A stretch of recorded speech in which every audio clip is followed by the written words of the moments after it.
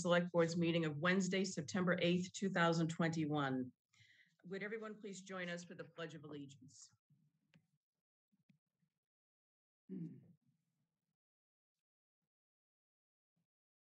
We'll put our flag up on the screen.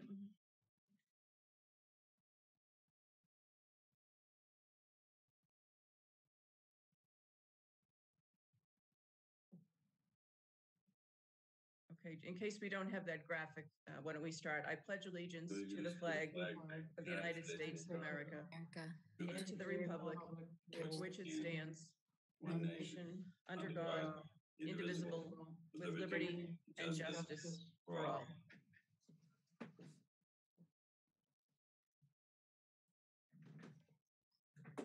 Okay, thank you to Susie for getting us that graphic of the flag.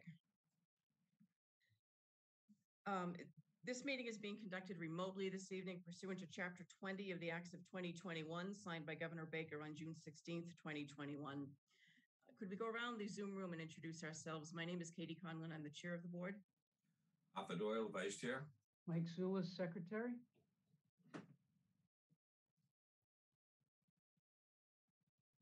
Melinda Collins. Richard Wells, member. Melinda, you're on mute, so we didn't quite hear what you said, but uh, Melinda Collins, member. Thank you. And we're also joined this evening by Michael Dennehy, the town administrator, and Susie Stewart, our executive administrative assistant in the select board office. Um, With the board's permission, I want to defer two items tonight, and we have one item we're going to take out of order. The two items to be proposed to be deferred are number eight, which is a discussion and vote on new equity and justice committee members. And number 17, the policy committee's second reading of operational policies and procedures. Uh, So if that's agreeable to everyone, we'll defer those to a future meeting. And uh, I see no objection or hearing no objection. Number five on our agenda is a request from our town moderator, Bob Hiss, to conduct the October 25th, 2021 special town meeting remotely.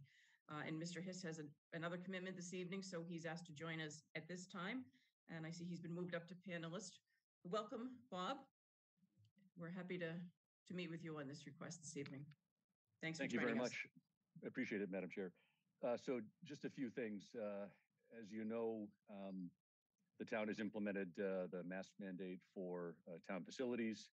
Uh, The governor has extended the remote meeting capability that he made available during the height of the COVID crisis um, to occur uh, out into the window that our October 25 town meeting will occur.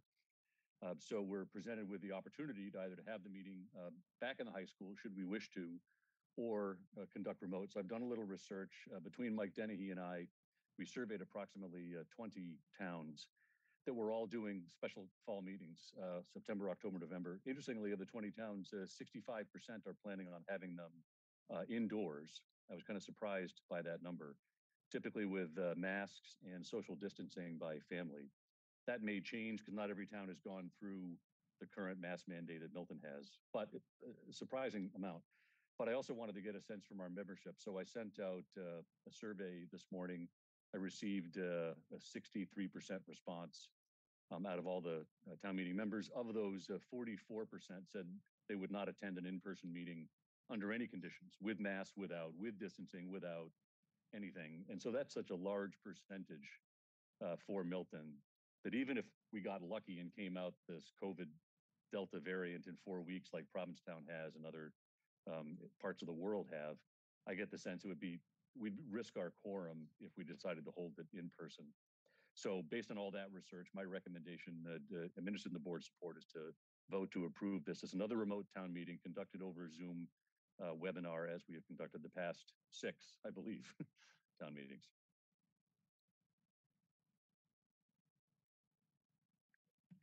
Okay, thank you, Mr. Hiss. Does any member of the board have any comment or question, for Mr. Hiss? Mr. Wells? Madam Chair, is, is, is the moderator asking for us to take a vote? Is that what he's asking for? I think he's asking, yes, I think for support for the, for his recommendation. Is that correct, Um, Bob?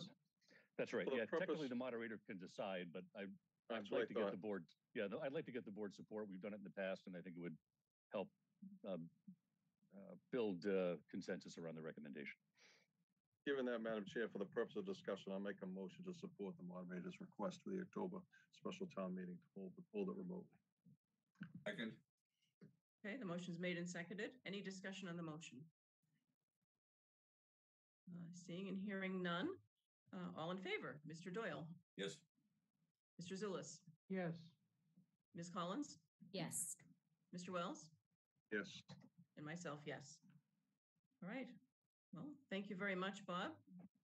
We'll, uh, we'll pass that along to town counsel, the warrant committee and others and, um, and and make the appropriate arrangements for the warrant preparation to include Thank the you for right the time. And thank you for indulging my schedule. So I'll let you carry on. Appreciate it.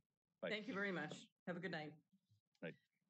Okay, before we get to public comment, um, I just wanted to mention, and we're going to cover this a little bit more in detail at the end of the meeting. Just want to invite all residents of the town to either take part in person at the vigil that the town of Milton and the Milton Interfaith Clergy Association will be holding on Friday evening, September 10th, uh, to observe the 20th anniversary of September 11th, 2001, and the terrorist attack on the United States. As, as many residents who are watching may know, at our prior meetings, we've decided to hold a vigil that evening. And it's going to be broadcast live on Milton Access Television. We are, out- we have a featured speaker coming from New York that Mr. Wells has made arrangements uh, to join as a, a New York deputy superintendent who's going to speak about 9/11. And uh, we have a program that we're going to be publishing, I think, tomorrow, uh, just to um, put out word of what the what the events will be. We're, also going to have a, we have a request from two students at the Milton High School who are Project 351 ambassadors, and they are propos- proposing to put together a nice stone tribute garden uh, that they're going to place at the gazebo. They're working with the town administrator to make that arrangement tomorrow for Friday. And that will be a nice tribute for residents to come and look at. I'm, I'm not sure if that will be up for several days or, you know, if someone is not able to attend the vigil, they may be able to see it over the weekend uh, or early next week. So uh, we also have a blood drive tomorrow that's part of our 9/11 observance. Susie Stewart of the Select Board's office has worked on these blood drives before, has made a lot of the arrangements, and we have had a terrific response to that. So uh, if anyone would still like to participate, there's information on the town website about the blood drive and also about the vigil, and there will be more information going out tomorrow. We encourage residents of the town to participate. Yes, Mr. Doyle has his hand raised. Madam Chair, I would like to uh, thank you uh, as chair.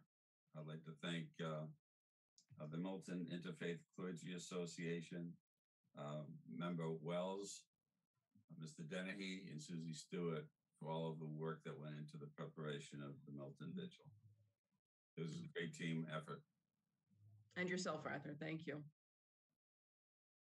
Okay, thank you. Um, The next item on our agenda is public comment. If we have any residents here for public comment, please use the uh, raise hand function at the bottom of your screen uh, to address the board. I see no one on a telephone line this evening, so uh, the telephone instructions in any event are star nine, but seeing no one on the phone, it's just the raised hand function. And I, I see no hands raised among the attendees. We'll wait another few seconds and see if anyone may raise a hand. Okay, seeing none, we can go on to number four, which is a COVID-19 update. And we're going to be joined by Caroline Kinsella, our Public Health Director. I see Ms. Kinsella has already joined us. Thank you, Caroline. Thank you, Madam Chair. Thank you, Select Board members. I'm going to give a a report on what we're seeing in the Health Department. So this past week, I've observed COVID-19 cases decreasing compared to one or two weeks ago. This past Saturday, two cases, Sunday, one, Monday, four cases, and yesterday we had zero cases. Today, this morning, we had three cases and I was very hopeful. But in the afternoon, after four o'clock, we've got seven more. So we'll keep an eye on the cases, but for the most part this week, they have been um, trending down. Monday's, uh, Milton's 14-day percent positivity is uh, 2.24%, which is slightly higher than last week, which was 2.17%. In the past two weeks, the case count has been 61 over 14 days. About half of those cases have been vaccinated for COVID-19, and we're seeing those are called the breakthrough cases which according to our phone interviews, when we speak to residents, we're hearing that their symptoms are primarily mild headaches, loss of smell or taste, cold or allergy symptoms. Unvaccinated COVID 19 cases seem to be having more severe symptoms. And today I spoke to Missy, who's the infection control nurse at BID Milton Hospital. And currently, there are six unvaccinated patients who are inpatient. Three of those six patients are in the intensive care unit. So it goes to show, and this, I spoke with her last week also, and last week there was five um, inpatient. They were all unvac- unvaccinated. That we really have to keep on pushing people to get vaccinated to decrease disease and death in Milton. Um, I also checked uh, the mass.gov website, and 67% of the population over 12 years old is fully vaccinated. So that number has inched up over the past couple of weeks to a 65, then 66, now 67% fully vaccinated. So as I said, we're we are seeing some breakthrough cases, and it's mainly half and half. But for the most part, when we are reaching out to residents, they are uh, they're reporting to us that their symptoms are mild. So that is good news. And, you know, we are flattening the curve and um, the people in um, the hospital, unfortunately, they are the unvaccinated is what we're seeing. And that's my report. And, and Caroline, do you want to speak just to the order that the Board of Health issued? They, they've issued two orders recently. I think we've already covered the first one at one of our prior meetings. Could you speak to this, the last, the most recent order? Yes, so the last, the most recent order started um, right after Labor Day on Tuesday. That is um, vaccinated or unvaccinated residents that are coming into town hall um, need to wear a mask, and that in- also includes the employees um, in all municipal buildings. So it's a second order that's also including all municipal employees to be vaccinated. I mean, I'm sorry, vaccinated to be masked, whether they're vaccinated or unvaccinated. So that includes the Council on Aging, um, the town hall, the library. And they put that in place this week. Okay, thank you. I, I know that everyone has received a copy of the order. Uh, it also mentions that the Board of Health strongly recommends that individuals wear face coverings while inside private businesses in the town. That's. Um, So it's not a mandate, but it's a strong recommendation that that be the case. Yes. Is, is there any color you can add to that, Caroline, in terms of the Board of Health's thoughts? I know some communities have put in a mandate, not all of them have. Um, So the Board of Health is watching closely the numbers and still we're at a two percent level, which is really in the yellow zone. Um, as I said before, you know, if the cases start to rise rapidly, the Board of Health can come together and put more mandates in. But at this time, they felt um, that um, the second order um, was warranted, but they went um, not so far as to um, require the, the uh, businesses to have uh, masks inside.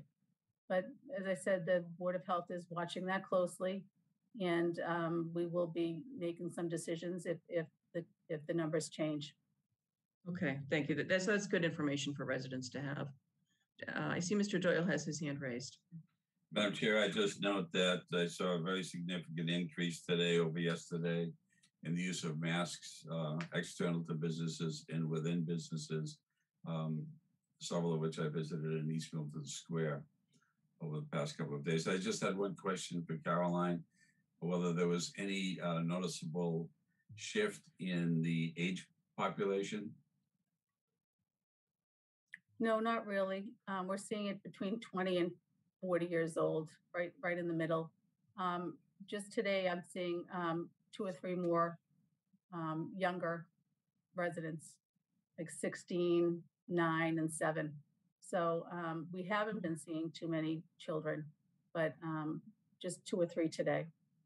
Thank you. And we're in close contact with the schools. I'm in close contact with Kim Coughlin. I've been on the phone with her twice today, um, going over the numbers and some cases that she's seeing on her end. So we're working together with the schools. Okay, thank you. I see Mr. Wells has his hand raised. Thank you, Madam Chair. Thank you, Caroline. Quick question, Caroline. On our frontline, uh, first responder, on our frontline, this health workers, I know we're getting close to that eight-month window. Any thought on the booster? Is that something we as a, your department's going to handle, or are they just going to go off on their own to get the booster? I know I just conversed with one close to me today, and she's just about at the eight months already. So we, we're hearing about that and we really haven't got a lot of direction from the state. Even though we get state calls at least once a week, um, we have not heard more information about the booster. We're just starting to get the seasonal flu vaccine into our office right now. We've got, um, one shipment this week. And we'll be starting the seasonal flu vaccine, uh, dates in the, in October. But I have not heard anything about the boosters or where that, where those shipments are gonna go, if they're gonna go to the pharmacies or if they're gonna, um, allow the health departments to, um, run some clinics again like we did in the spring. Okay, So We'll see. thanks. I just knew we're getting close. I, I believe, wasn't on- around last January, you started giving your first shots, Yes, it was. right? That's right. Yeah. Thanks. Thank you, Madam Chair. Thank you again for everything, Caroline. Okay, Thank does anyone, anyone else on the board have a comment or a question for Caroline? Uh, Seeing none, then Caroline, thank you so much for joining us this evening. We appreciate your time Chair. and thank you for the update. Thank you. Take Thanks, care, Caroline. everyone.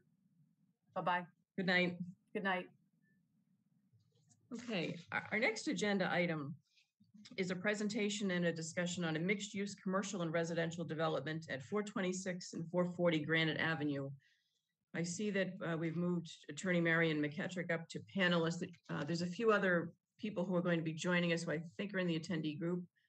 Which, uh, Marion, would you like us to move up some of the others on your team?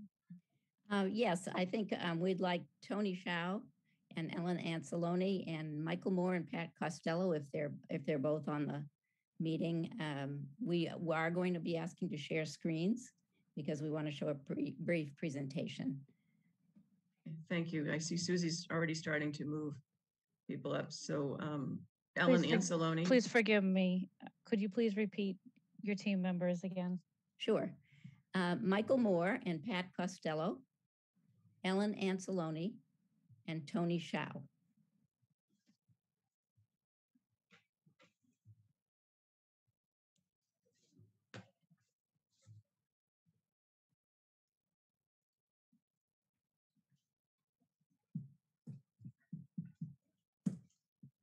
Okay, I don't see um, Mr. Costello, although I I did let Attorney McGetrick know we may not have gotten to this this evening until 7:30, so it's possible he may still be joining us. Um, Would you like to get started at this time? Marion, do we need to wait for Mr. Costello? Uh, no, we don't need to. He wasn't positive he would be able to attend, but he was going to try. Okay, Um, As long as Ellen, um, is Tony Shao on or is Ellen able to share screen? Um, I can have share my- made you, I have, I, if you can let me share my screen, that'd be great. and Marion, I do see Mr. Shao and Mr. Moore. Oh, okay, all right. They well, are now panelists. Whoever wants to do it. I'm just going to briefly um, introduce our meeting with you tonight. First of all, say thank you very much for allowing us to come and speak to the Board of Selectmen. Um, I've been working with uh, this team of Michael Moore, Pat Costello, and the architectural firm of Feingold Alexander, and all of their um, architects since last October approximately, looking at this site at 440, 426, 440 Granite Ave and 29 Mechanic Street. It's a triangular shaped lot. We're going to show you this presentation and explain what the site is. Um, we're really interested in getting your feedback as select board members. We'd like to know what your perspective is. We certainly hope to have your support as well, but we appreciate the opportunity to come before you and just show you what it is, what the concept plan is for this. Um, my contribution so far with this project has been to, of course, prepare the applications, but I have reviewed the existing zoning, um, the East Milton Square zoning concepts currently under discussion, and the history of this site. So we've looked at it um, in in a fair amount of depth. We've met with the historical commission, um, and we've had some community meetings, all of which we'll be describing to you. It's been quite clear from the beginning that any new building on this triangular lot, which is at one end of the business district, requires a unique design to mitigate the directly adjacent expressway. The noise is tremendous from the expressway at this site and all along this edge of the business district. Um, and at the same time, any proposal has to provide some distance from Mechanic Street residences on the other side. And finally, any new building in this location needs to be attractive and needs to be a, a, a good-looking gateway to the town. So in addition to having to address these constraints, the developers have intended from the beginning to create a multi-unit home ownership mixed-use project, so with some commercial and with some affordable units.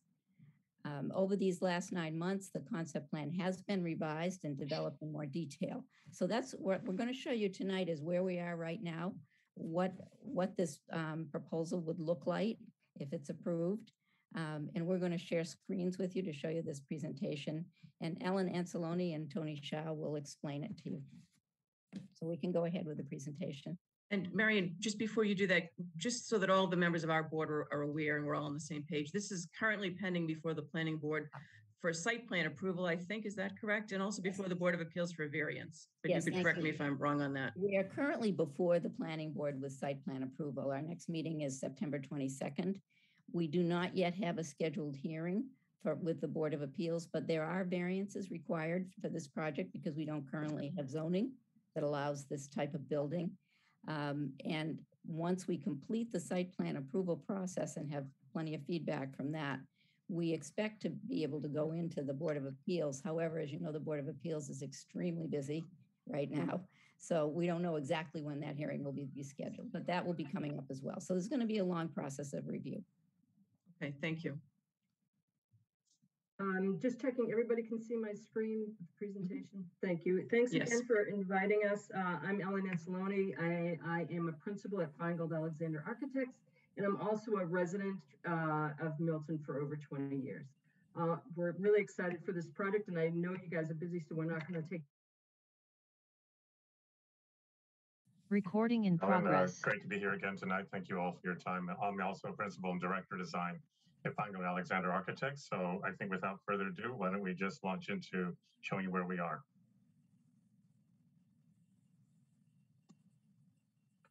So of course, this is the site at 440 Granite at the intersection of Granite Avenue and Mechanic Street. And it consists of this uh, somewhat triangular parcel where the proposed development is going to be placed. And one of the things that we wanted to stress about the project in, in its in its um, opportunities, there are some significant, we believe, benefits. Um, it is a home ownership project, and it will largely be targeted towards the empty nesters and young couples. 10% of the units will be affordable. It's also important because it's going to help to meet the needs of the town's housing uh, product plan, and it also will provide an additional Class A commercial space, doubling the existing amount of commercial space on the site and it will be a significant increase to the tax base of almost uh, 300,000 a year or almost a tenfold increase um, in terms of its annual revenue. It will create a gateway building for the town and the commercial space will also house additional town amenity spaces. The other important part is that we're really trying to achieve a high level of sustainability for this project. So it will be an all-electric source building, I think, which is a significant uh, step, particularly for a multi-use mixed-use development.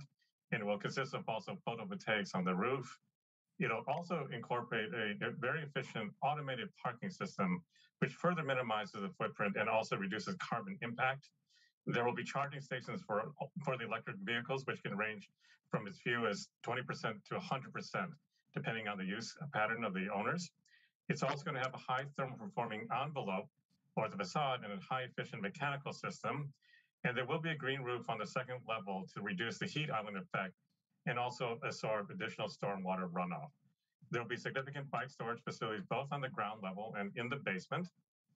And it will use sustainable material throughout with high degree of recycled content and harvest the rainwater and use it for plant watering. So we, we believe we're trying to achieve a high level of sustainability on this project, which we think is very important, especially in today's world. I'm not going to rattle off this except to just point out that we've had a significant number of meetings uh, throughout this project dating back to October of last year. Uh, and there have been a number of hearings with the Milton Planning Board. We've toured um, the parking facilities, planning board members. It was involved with Milton Historical Commissions, um, East Neighborhood Milton Association, and adjacent property owners as well as the Housing Committee and Master Plan Implementation Committee. So these are just a few select key meetings that have been held over the course of these past uh, 16 or so or 18 months. So with respect to the site plan, this is uh, really what we call the site plan or landscape plan. It's shown at level one. And we're just going to point out a few key things on this site. So Granite Avenue is oriented at the bottom of the page and Mechanic Street is on the diagonal at the upper right. And the way this building operates is that we're going to do several uh, key site improvement uh, opportunities here. And start, starting on Granite Avenue, um, one of the key things that we're going to do is we're actually adding three additional parking spaces and eliminating the current curb cuts, which currently exist into the multiple retail tenants. So that will help to reduce the amount of uh, cross traffic uh, issues that currently exist. Um, in addition to that, there will also be enhanced parking spaces for proposed lighting and drop off at the far right. This will be for deliveries and also for larger vehicles as well, dedicated for that intended use. Um, as we turn to the right along Mechanic Street, we have also shown here essentially one en- entry, which is for the parking garage at where the Ellen is pointing out in the arrow. So we we basically pulled into the automated parking system, and we can explain that further off Mechanic Street, and it, it remains a one-way street. And then further up the page, there are four additional parking spaces shown on the surface, um, dedicated uh, for additional parking, and primarily for the business owners. Some other key things about the site too that we're incorporating here are uh, some step substantial um, landscape and site improvements. Uh, we want to line the edge with uh, granite curbing. We also want to put a brick uh, paving at the perimeter. We've seen this evident in the East Milton Business District. We want to carry that thread through and build off that uh, development that's already occurred in other parts of the district. We also incorporate a number of street plantings, which both a combination of trees along the street. We're placing a planter element at the corner where Mechanic Street and Granite Avenue intersect, and also providing some additional small planting elements at the notches in the plan. And then finally, on the far left side, um, we have an additional landscape buffer uh, showing here. There's some additional planting, uh, both in respect to some of the neighbors, but also to create a green strip along that far left edge. So these are some of the significant things. And then finally, the other things that we will point out is that there will be bike racks provided. Uh, we're looking to, you know, uh, produce um, sufficient lighting. And, and I think what has been explored or being explored is potentially trying to eliminate the overhead telephone uh, wire systems that exist along the street. So that is currently under review, but um, if we're able to do that, I think that will be a very positive uh, impact for the for this particular block of the district if we can eliminate those overhead telephone poles. The last thing I will point out, sorry, the other thing, no, we can leave it on this plan. That's okay, Ellen, we can flip. So the other thing I'm pointing out to the side before we go into the details, there's also a transformer location in the back here adjacent to the parking, uh, which is uh, basically screened off by some planting. So let's talk a little bit more about what happens on the ground floor. So again, going back to Granite Avenue at the bottom of the page, the areas that are colored in pink salmon, these are the retail uh, proposed uh, opportunities. They total just a little over 4,000 square feet, you know, shown subdivided into practically three retail uh, tenants, but that could change depending on the use and the tenant. Um, but that really is intended to be occupied to activate the street and to provide additional opportunities for commercial development. But these are not intended to be uh, high density developments like restaurants or things like that. Uh, they're intended really to be thought of as more commercial, office, uh, those kind of de- proposed developments. Um, so I think this is one of the things that's important that we want to point out. There's also the uh, lobby entrance to the residence, which occurs right there, where Ellen is showing, and this will bring directly into the residential lobby coming out the street. Um, and as we turn the corner and move towards the back, coming in along the parking. So what we pointed out is that the entrance to the parking uh, system occurs along Mechanic Street, and this system accommodates 38 parking spaces in an automated system, which is much more compact and much more efficient, but accommodates uh, full-size SUVs uh, throughout. Um, and I know that some members have already, from the planning board, toured several facilities that are actually in operation in the city. And again, we welcome uh, folks who are not familiar, familiar with this to visit with some of them, and that can be arranged. But this allows us to accommodate a total of 42 interior parking spaces, 30 which are 38 which are automated, and four additional surface parking spaces, including two for handicap use and a van. Uh, so this is a very efficient parking system for the project um, as a whole. Uh, there are some other additional areas. There's some some trash recycling, but that is strictly going to be uh, only for small areas and um, and just only on the intermittent time they're needed. And again, the four standard parking spaces at the back, shown in the far upper left corner, intended primarily for uh, additional parking for the project. As you move up to the typical floor plan, this is actually level two plan, but it's, it's fairly typical. So Uh, on the plans, we basically have a mixture of primarily ones and predominantly two bedroom units, um, totaling, I think, 33 units in, in, in total in the development. And uh, the intention is, again, for the projects really to be geared towards empty nesters uh, or young professionals. Uh, they're not intended for families because they're simply not big enough and the amount of bedroom sizes are primarily ones and twos. We do also show on this level uh, that what I described before, there's a green roof element uh, in the upper corner that extends over that uh, surface parking below and part of the garage. And then there's some private terraces at the back as shown in this plan.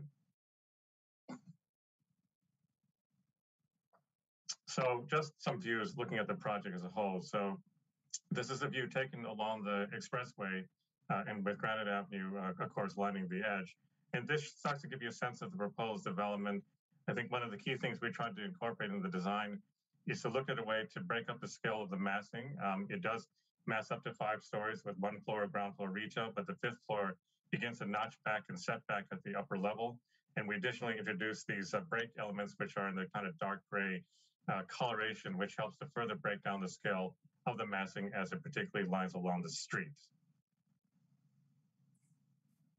This is another view taking an eye level along Granite Avenue at the intersection uh, on, on the left and Mechanic Street on the right. And again, what we really want to point out here is again the importance of trying to activate the ground plane and streetscape so that you, you can see here the development of the retail opportunities lining along the street and along the along the sidewalk and creating an active zone in order to enhance activity. Uh, and then the residential uh, components occur above from levels two through five. Uh, we'll talk about a little bit on the materials along Granite Avenue. We're suggesting that this is essentially a brick, a brick cladding system, which are uh, shown in sort of the areas that are outlined in, as Ellen is going through it. Uh, we have some uh, sort of panelized systems in the rest of the project, and we have some examples that we'll get into detail later. But the intent for the project as a whole is to introduce scale, variety, and interest, and the introduction of some color elements as well uh, adds a certain liveliness as well as a more uh, smaller scale device. So we we believe we're trying to affect um, amount of residential scale and details as we can on the project as a whole using high quality materials throughout.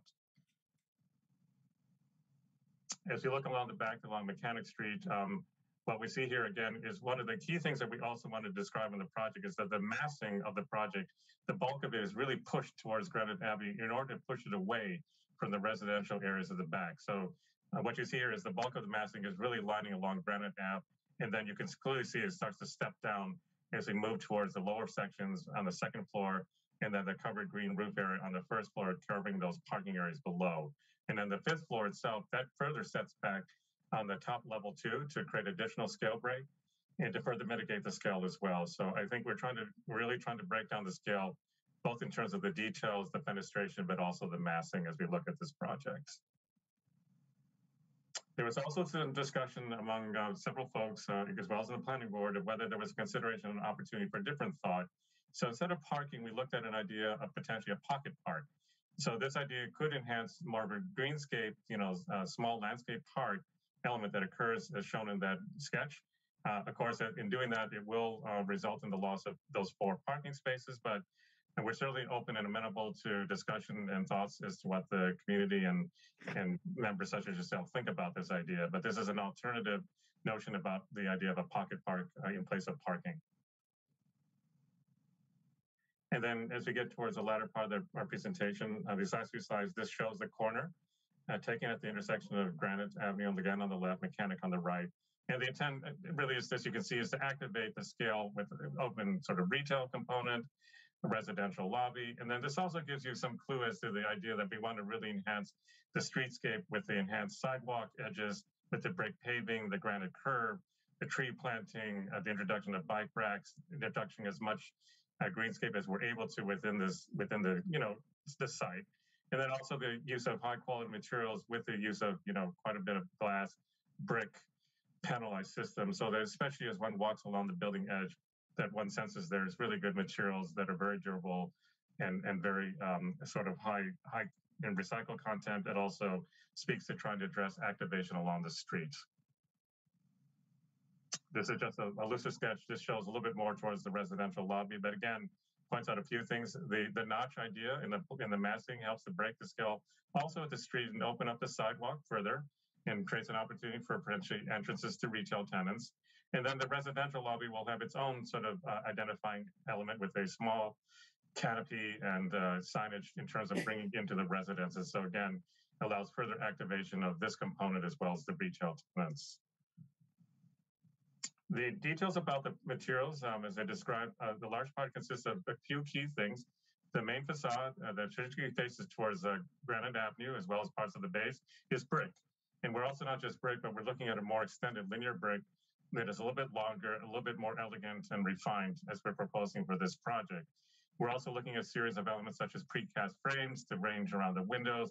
There's further details on the brick that you can see that it has some shadow line elements to break down the scale. In addition, we also have additional uh, elements uh, such as brake metal colors to introduce further detail and, and, interest. And then fiber cement cladding in other parts of the building, uh, both in terms of the idea that you can see it on the cladding on the right, as well as the niche elements in the darker gray on the left. And the use of introduction of color is uh, very achievable because essentially in fiber cement, we can paint any color we want. So we can basically pull through. And as we look at this more carefully, we of course will have samples and review all of that in detail as the project moves forward. And then this last view, this shows again uh, focusing in on the ground level. So even here on the areas that, that deal with the more, say, um, uh, support areas such as trash areas and other things and the entrance of the garage, we're still proposing high quality materials and using brick.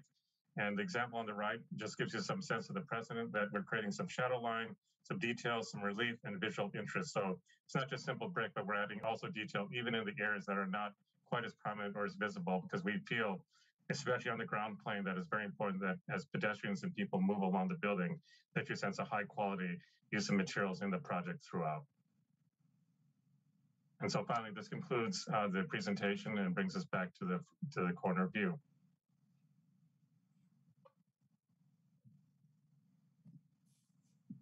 Okay, thank you, Mr. Shao. Marion, do you have others on the team who would like to address the project? Um, I'm not sure whether Michael Moore, um, if he's here, wants to say anything. Um, you, some of us in Milton know Michael Moore as the developer of 36 Central Ave. Um, so he certainly has experience with many other projects and other locations, but he is a local developer as well. Um, so I've been very, I've enjoyed working with him so far in this project. So Michael, do, are you here and do you want to say anything? Sure. Thanks, Marion, and uh, thank you to the select board for inviting us here. Um, I'm a Milton resident. I've been living here since uh, almost 10 years. Uh, we have um, our office here at Central Lab. We built Central Lab around that same time, and you know, it's personal, but it's exciting, and we we have a great team, and we really uh, think this is a great project for Milton. It's in not just in the increased tax revenue, but the type of housing that we can provide to the empty nesters, there really is nothing. If you want to downsize and you've lived your life in Milton, you don't have very many options. You can try and get into 88 Wharf or some other smaller developments, but it, there's nothing out there. So we think this is a great project for the town and uh, we're excited to, to get it started.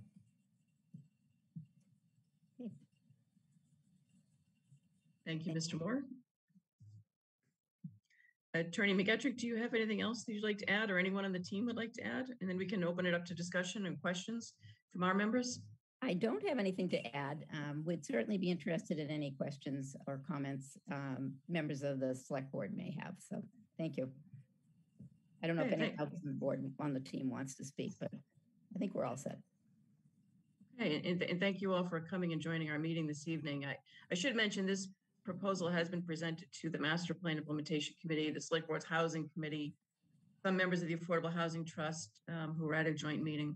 So um, to some extent, some members of the board have already um, heard the presentation and may have already asked questions, and some I know have weighed in um, at those meetings. But I'd like to open it up to our board at this time. If anyone has questions or comments on this proposal, um, it's a little bit hard to see any hands raised when we have the screen up, but I, we may, we may still need this, this shared screen in case anyone wants to reference a particular slide. So is there anyone on our board who would like to ask any questions or offer any comments? I see Ms. Collins' hand. Ms. Collins. Thank you, Madam Chair. Um, I thank you for noting that um, Mr. Moore and his team came before the Housing Committee and, as you said, some members of the Affordable Housing Trust and the Master Plan Implementation Committee. Um, I'll, I'll let uh, Mr. Doyle uh, speak to the Master Plan Implementation folks, but the Housing Committee members who were there voted to support um, the concept of this plan uh, as far as design and all the the um, features that were just documented in the the presentation. So I'll just note that, and um, and I still like it very much. So thank you. Mr. Doyle. Madam Chair, to follow up on Collins' comment, uh, yes, the um, members of the Master Plan Implementation Committee who were in attendance also supported uh, the concept and uh, their vote was 4-0 uh, in support.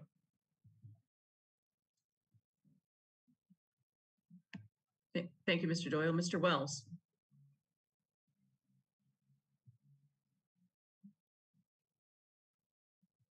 Thank you, Madam Chair. Oh, you took my hand down? I didn't know how to do. I, No, I didn't. All right, I got it down. I didn't want to leave it up. I don't, I don't use this I function. think if you just click again on the raise hand. I did, I got it. It's Okay. down. Thank you. So, um, I had heard that, um, both the Master Plan Implementation Committee and the Housing Committee had, um, taken a vote to support this. Like Mr. Doyle, we both live here in East Milton, so I've followed this very closely. Um, this building reminds me a lot of, uh, a, a very unique but very similar building that's in Ashmont on Dorchester Avenue across from Tavolo. Uh, It's the same type. It's commercial on the first floor. It has American provisions, a bike shop, a couple other things, and the rest of it is residential. Very unique in, the, in its design as this is. Um, my thought is to you, Madam Chair, and I know we all, this is not, doesn't come under our jurisdiction, but you think, um, at least for me, the experts that we use and I've talked to think this is a good project and like this.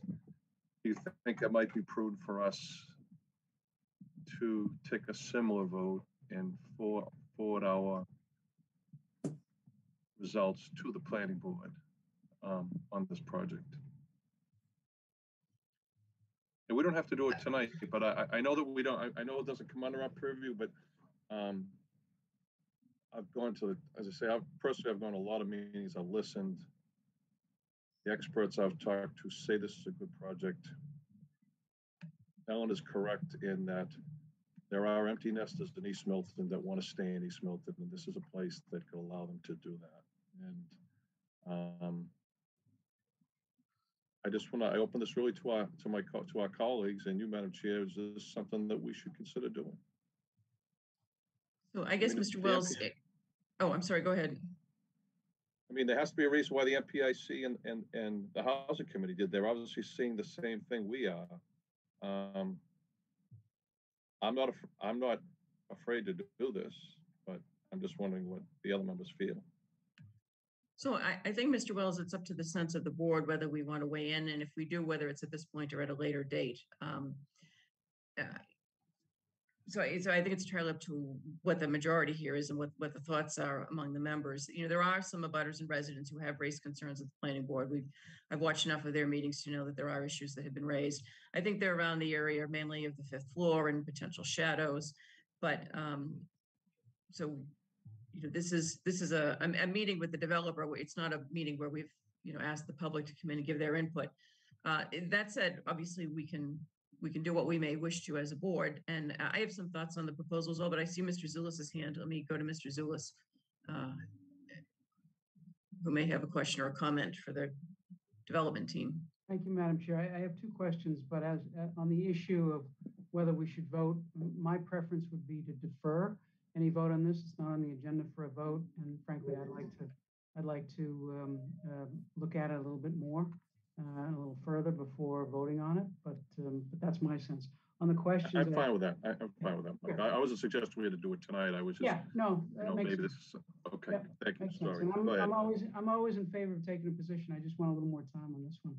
Um, uh, Two questions, I think for Mr. Shao. Uh, One, um, you mentioned the ten percent affordable and thirty-three units. Does that mean four affordable units or three affordable units? I'm hoping four, but, um, but what do we, what, what's the ten percent, what's ten percent of thirty-three?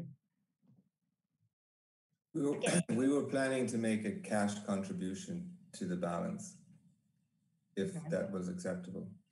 So, so, so a cash, so, so no affordable units, but a cash con- contribution or, or some affordable units in cash? Three, three affordable units and then a cash contribution. Okay, three affordable and a cash. Okay. Okay. Um, okay.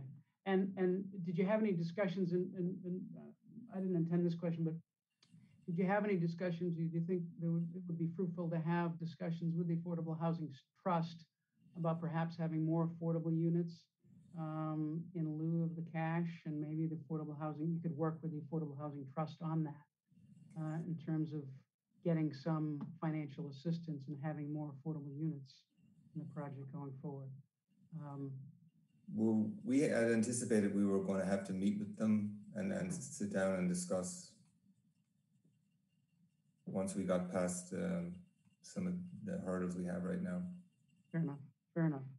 Um, yeah, I'd encourage you to meet with the Affordable Housing Trust and certainly they, they have, they, they may have some fruitful ideas on um, additional units and maybe, maybe uh, working with the trust in terms of funding. Um, the second question I have is the, um, and thank you, Mr. Moore, for that. And, and the second question I think is Mr. Shao, but whoever, whoever wants to answer it. a- And that is uh, the height uh, of the, of the, um, of the proposed building. Um, I don't, I don't have in my mind's eye the height of the current buildings on the site. And so could you just tell me what the height of the current buildings is and what's the difference between the current height and the proposed height? I can tell you that. So the existing, um, the buildings on the existing site vary, right? Because there's, there's Right. single family, uh, so the average is probably around two and a half stories, some are two stories. Uh, so thirty-five feet, probably, that's my best guess. Uh, and so what we have here is we, to the top of our building, let me just point it out, right here, this is below seventy feet. It's 68 and change. I don't know the exact number off the top of my head. Um, what you don't see that, and you're not going to see it in any of these images because you just can't see it, is above this, we have a mechanical area on the roof, which we are putting a screening system around it, just so people don't see the actual mechanical equipment. Uh, it helps for uh, the visual and it also helps for noise. Um, but I can tell you that expressway will drown out any noise that's created from our building. Uh, so that that that is that's the height, and we can get into more detail if you can uh, send along some more information through Marion, if that would help. And, and just one, one, you mentioned that mechanical uh, equipment. Does the mechanical equipment take it above the 68 feet or is that kind of? Yes, within- it does.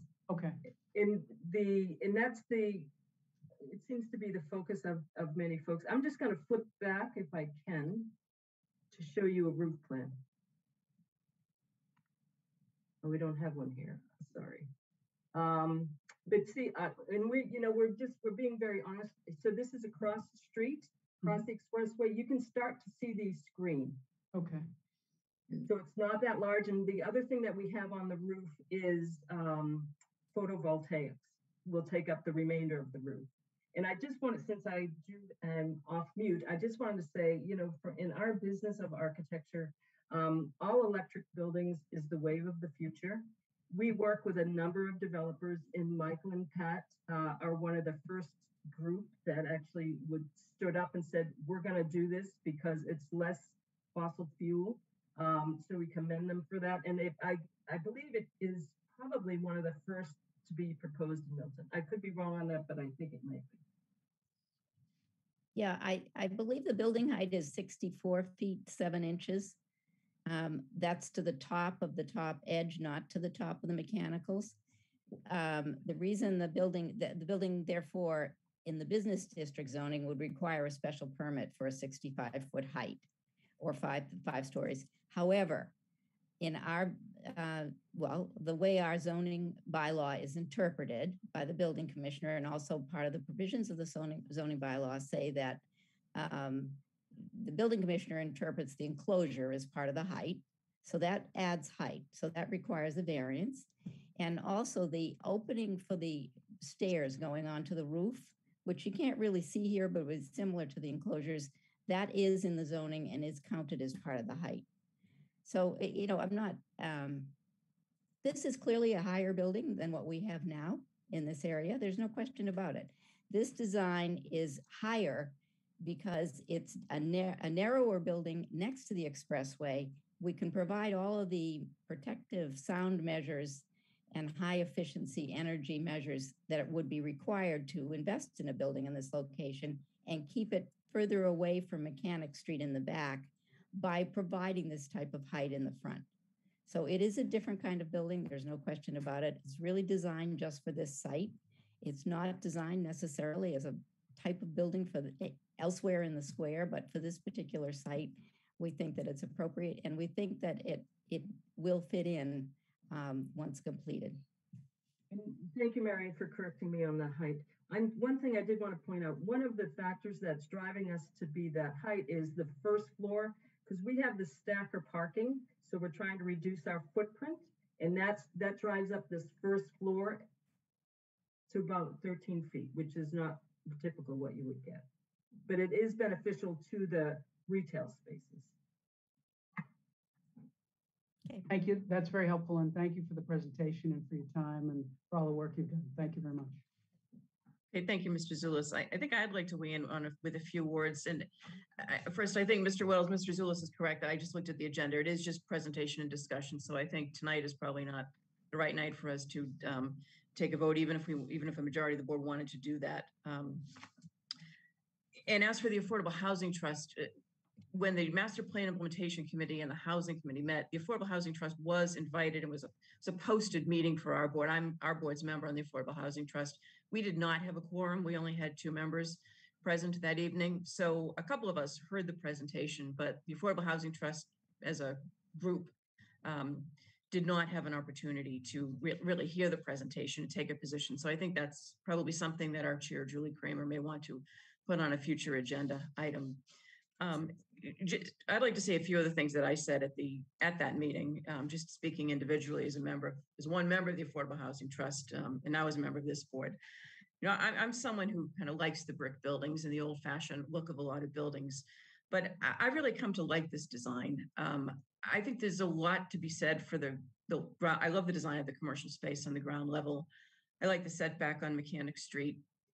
I think what was just recently said either by Ellen or Marion that maybe another section of town, this building may not be appropriate, but the the height, the five story height and the the um the density, eh, well, let's really talk about the height. The height is really facing the expressway, and there's there's no question that that's just a very loud area. So I I think that the argument about the soundproofing and the, the extra cost that goes into a project like this on account of that makes sense to me. That um, maybe the height that's being proposed, maybe it's needed because of that. I'm I'm certainly no expert. I, I'm a lay layperson on any issues relating to architecture and design, but there's a lot that I support about this concept and the design. And I know that the Board of Appeals and the Planning Board are going to hear from not neighbors and abutters and those who have standing to, um, and any resident of the town who may wish to weigh in on this project. But, and, and obviously we leave to them decisions on variances and what the site plan should or shouldn't be approved. But speaking only to the general concept of this, I, I like this proposal. There's clearly a need for more diverse housing stock in our town. I think the housing production plan demonstrated that. The current 40Bs that are pending, um, that that has been demonstrated through the different hearings that are being held. And while this building may not look like something else that's in town in, in Milton, I I think this is an appropriate design, and I'd like to see Milton exploring projects that have the stacked parking, which is probably something that we're going to be seeing more and more of. Um, So I, there's a real need to rejuvenate our business districts. I know when I ran for office in three elections, that was something that I talked about in my campaigns, and it takes a long time to get there. The Milton Village zoning took us three years to get to town meeting. That was supposed to lead the East Milton design efforts, but Judy Barrett's presentation to us a few weeks ago, which has also been presented to the planning board, I think really demonstrated the need for creative thinking and for different design for mixed use properties with some greater height um, than what the town perhaps is used to. I, I look at the Henry's building that's under construction, and as a layperson, I probably would say that the back wall along the trolley tracks is five stories. Now, the planning board experts might tell me it's really four stories with a ground level parking, but to a layperson like me, it looks like five stories.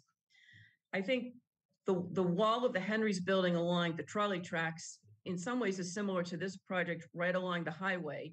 Um, where the height, especially given the soundproofing issues, the streetscape improvements that are going to be presented here, if this is approved, the commercial space, and the landscaping improvements, um, all help rejuvenate an area that I think there's no question needs some life and rejuvenation. So, speaking on the broad concepts, um, I like where this is going. I, I know there's been a lot of work that the team has put into revising this as the planning board has had multiple meetings and offered a lot of comments, but um, it, it fulfills our need to diversify our housing stock. I think it's probably in the best interest of the town to have a development like this, especially in a location that fronts onto the highway. And um, I'm gener- speaking generally as to the concept itself without getting into issues of specifics that other boards are going to handle and that other abutters may have issues that need to be addressed through those processes. I um, I like this and I support where the developer is going with this project. So that that's my two cents. I- I see Ms. Collins has her hand raised. Thank you, Madam Chair. I, I wanted to second everything that you just said, but um, I, I also wanted to note that uh, there have been many people who are asking our board to find more ways to generate revenue for the town. And if we um, have more development in appropriate places um, like this, that will help. We, we will have more revenue and there'll be more places for people to live. And um, and as you said, we'll be rejuvenating our um, our downtown business district at the same time that we're we're actually improving our finances. Thank you. Mr. Wells.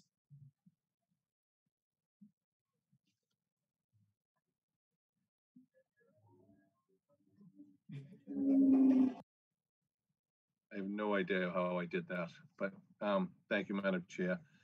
Um, and I, I'm I concur exactly with Ms. Collins and yourself on the thoughts. Um, you know, by right, and, and Ellen, you uh, Mary can comment on this. I think by right, the developer could go 45 feet with a commercial structure. Am I correct on that? Yes. And a, and a commercial structure of 45 feet on that footprint would truly impact in a negative way the neighborhood, the square, the abutters, everything far more than this would, as well as not addressing any of the issues that my colleagues have spoken to tonight. And my one thought, on, and back to Mr. Zullas's point, I wasn't asked that we take a position tonight, but if we are, it seems that we do support the concept of this. And if we are going to do this, I just ask that we, if we were to schedule a vote and take one, that we should do it sooner. I don't want to wait till it gets to the last night of the, either the planning board or the ZBA hearing, particularly the planning board hearing, and then say, oh yeah, the select board took, I'd rather do it proactively versus reactively, if that's possible. Thank you for that, and thank you to Mr. McGetrick and Ms. Anselon. Thank you to the developers. Um, It does appear that you're trying to bring something that is, is, is, Ms. Conlon says, that will enhance um, our community in many ways. So thank you for that. Thank you, Madam Chair. Thank you, Mr. Wells. Does anyone else have any comments or questions or, or maybe discussion? Mr. Zullas, I'm sorry, you had your hand raised. Just very quickly, um, uh, just in, in, in terms of laying out our opinions, I think I'm gen- generally in favor of this, Although, let me restate and reemphasize the importance of getting as many affordable units rather than cash as possible. And if you work with the Affordable Housing Trust, there may be opportunities for funding from the Affordable Housing Trust. We have money in the Affordable Housing Trust now. And so there may be an opportunity to increase those number of units. When you're talking about empty nesters, we may be talking about the opportunity for empty nesters who have affordable housing needs in this kind of project. So, so for me, to the extent that we can, we can get those number of units higher than three, whether it be four or five or whatever it is, any increase for me uh, would be, uh, pardon me, would be an improvement. Okay, Okay, thank you, Mr. Zullas, and I'll, I'll bring that to the attention of Julie Kramer, the Chair of the Affordable Housing Trust, and ask her to, to schedule a, a- maybe a discussion with Attorney McGetrick and her client at some point um, soon, when it makes sense um, on this. And, and, you know, I, let me just echo one other thing for the developer, because I know that there are some neighbors who have raised issues with the fifth story. On one of the 40B projects, I know there was a discussion among the panel and the developer about whether perhaps the unit size might be adjusted to eliminate the need um, for some of the additional units. And that, that perhaps that's something that would work here, perhaps it's not, but uh, that might be something to think about. I, I know that you've you've given a lot of thought to this already, but um, that, that's just one suggestion. So um, as this proceeds along before the planning board, and you said the zoning zoning board of appeals has not yet scheduled it for a hearing on the variance, may, maybe if Attorney McGetrick could keep us up to date on the timing of that, so that you know we could consider a time that it might make sense to weigh in. It's, I suppose it's possible that the planning board process could yield some changes to the project or some additional developments that we'd want to be aware of before we um, take any official vote. If that makes sense, Ms. McGetrick? Yes, of course.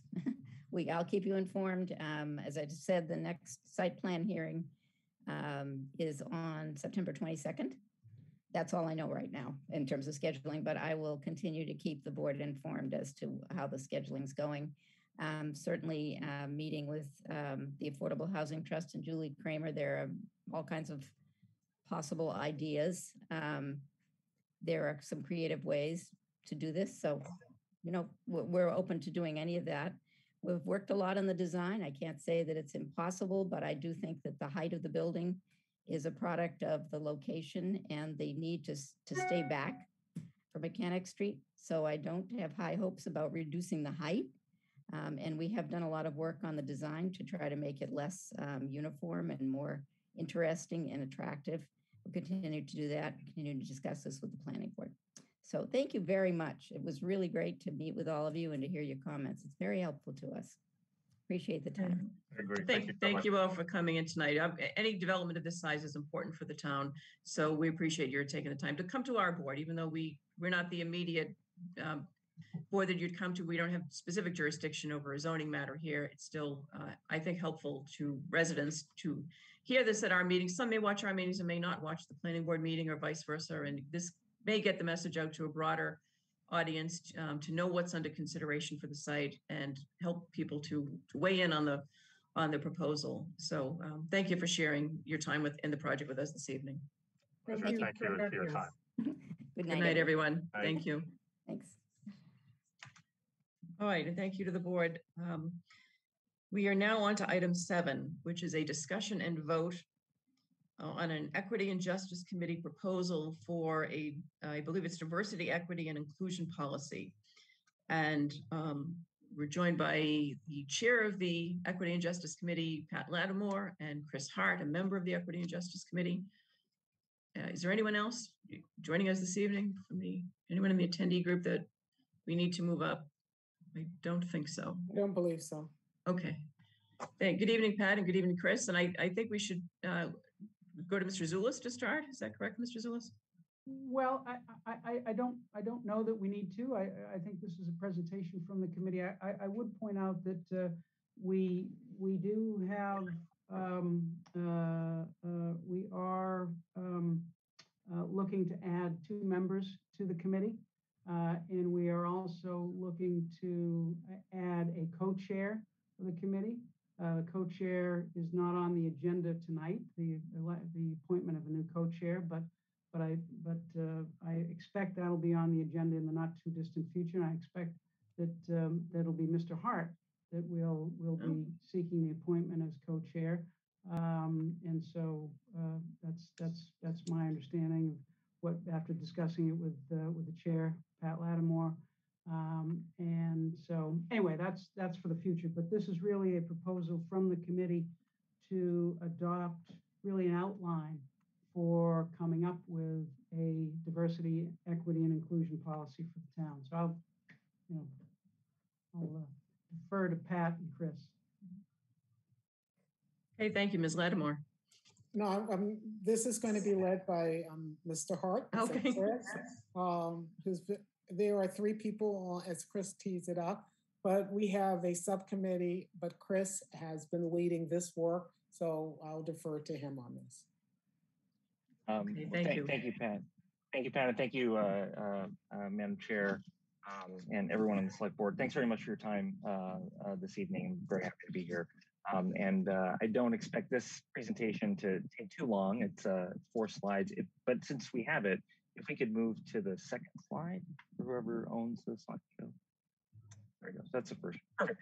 Um, so as Mr. Zullas indicated, um, uh, what I'm going to be talking about is a proposal uh, for uh, work on a full draft of a town-wide diversity, equity, and inclusion, or DENI policy. Um, and just as a reminder, um, when uh, I think Pat was before you um, uh, earlier this year, uh, one of the preliminary findings from the uh, uh, Equity and Justice for All Committee uh, was uh, an observation that the town did not have such a policy, um, and the there was a need to create one. Um, so, in the process of following through with that recommendation, uh, we have, through a subcommittee, uh, done some research on what towns actually have done with regard to DEI policies or statements. Um, and based on that research, we formulated some thoughts on what Milton might adopt. We could move to the next. Uh, so uh, we looked at 10 towns, and that was, to be perfectly honest, somewhat arbitrary. You could probably find 10 more towns you could have looked at or that we could have looked at. Um, but the observations were were first that statements, that is townwide statements on um, mostly diversity, uh, were fairly common. Uh, but policies, uh, at least publicly facing policies, um, uh, were were not accessible. It might be that towns had some internal policies that were not outward facing, but um, they were uh, fairly difficult to find. They were focused on diversity. There wasn't a lot of discussion about equity or inclusion. Um, there uh, was some indication for at least a couple of towns, Brookline being one of them, and Brookline was a standout, as I note here, um, that had a, a, central complaints process that went through their uh, DEI policy or, or anybody who was uh, in charge of DEI work. What was clear to us is that there's a lot of room for innovation. There's a lot of room for creativity. There's a lot of room for thinking about what's going to work for Milton uh, and be effective um, as a townwide policy. We can go to the next slide.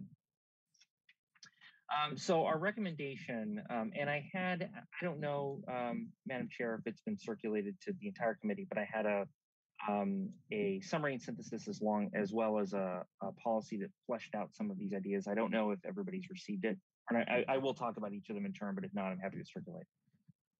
I'm not sure. I think it was. There was an email from Mr. Hart that I think went to the full committee, the full board. Um, did everyone receive that?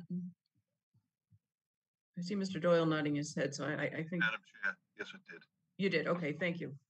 Thank you, Richard. Um, perfect. So, so you've seen it, and I'll, and I'll, and and that document, I think, uh, says a lot about what I'm going to say here. But uh, the policy outline provides a general statement, a townwide statement, um, and it uh, candidly it adopts from the Brookline statement. It, it, tweaks it a bit and also adds ideas of equity and, and inclusion.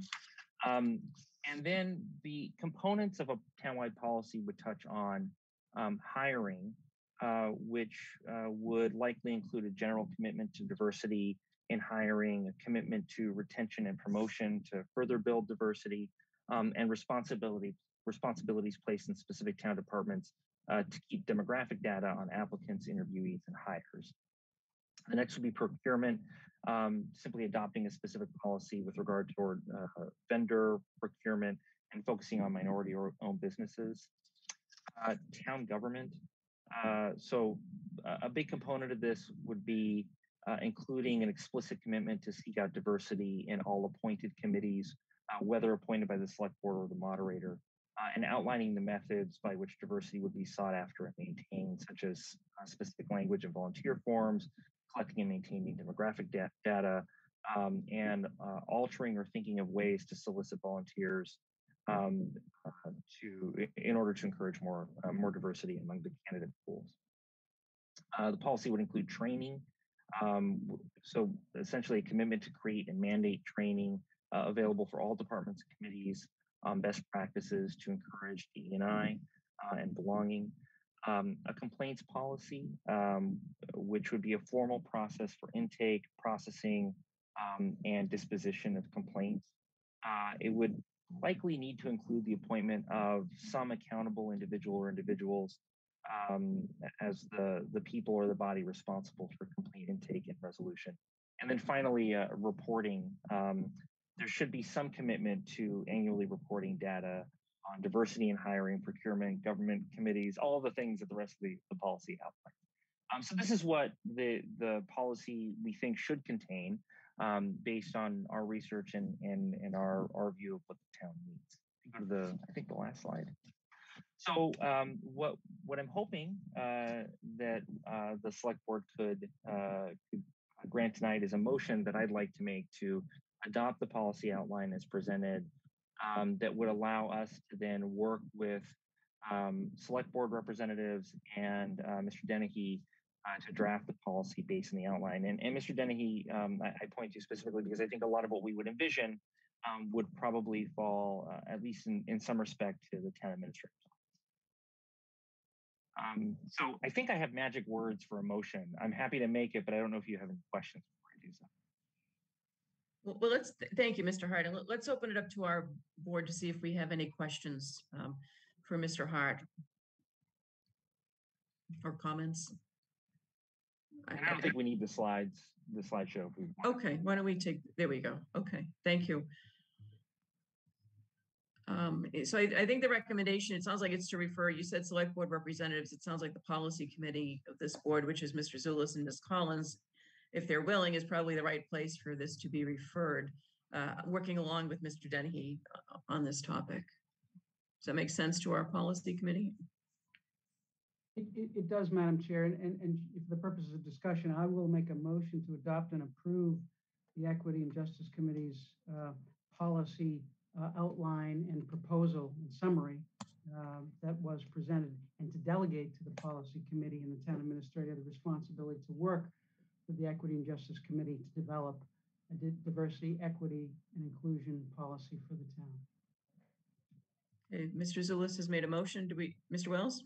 Might have a friendly, Michael, instead of making a motion to adopt it, I'd like to give our representatives and the town administrator some time to weigh in on this. So I maybe adopt it, maybe forward it to them for this and let them, I want to, I don't want to take away their ability to have any comments.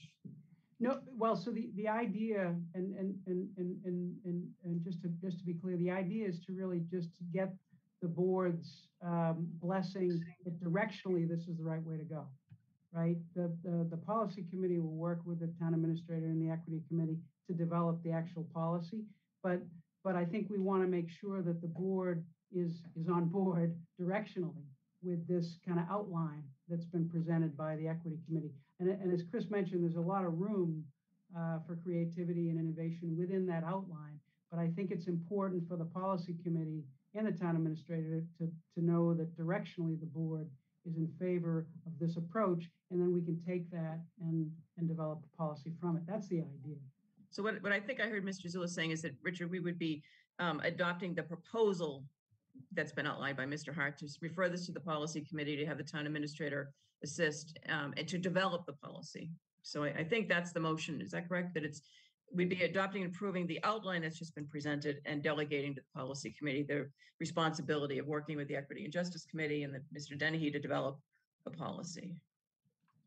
Okay, given that, I'll, I'll second it. Just, just, I'll second it just, and just for purpose of discussion.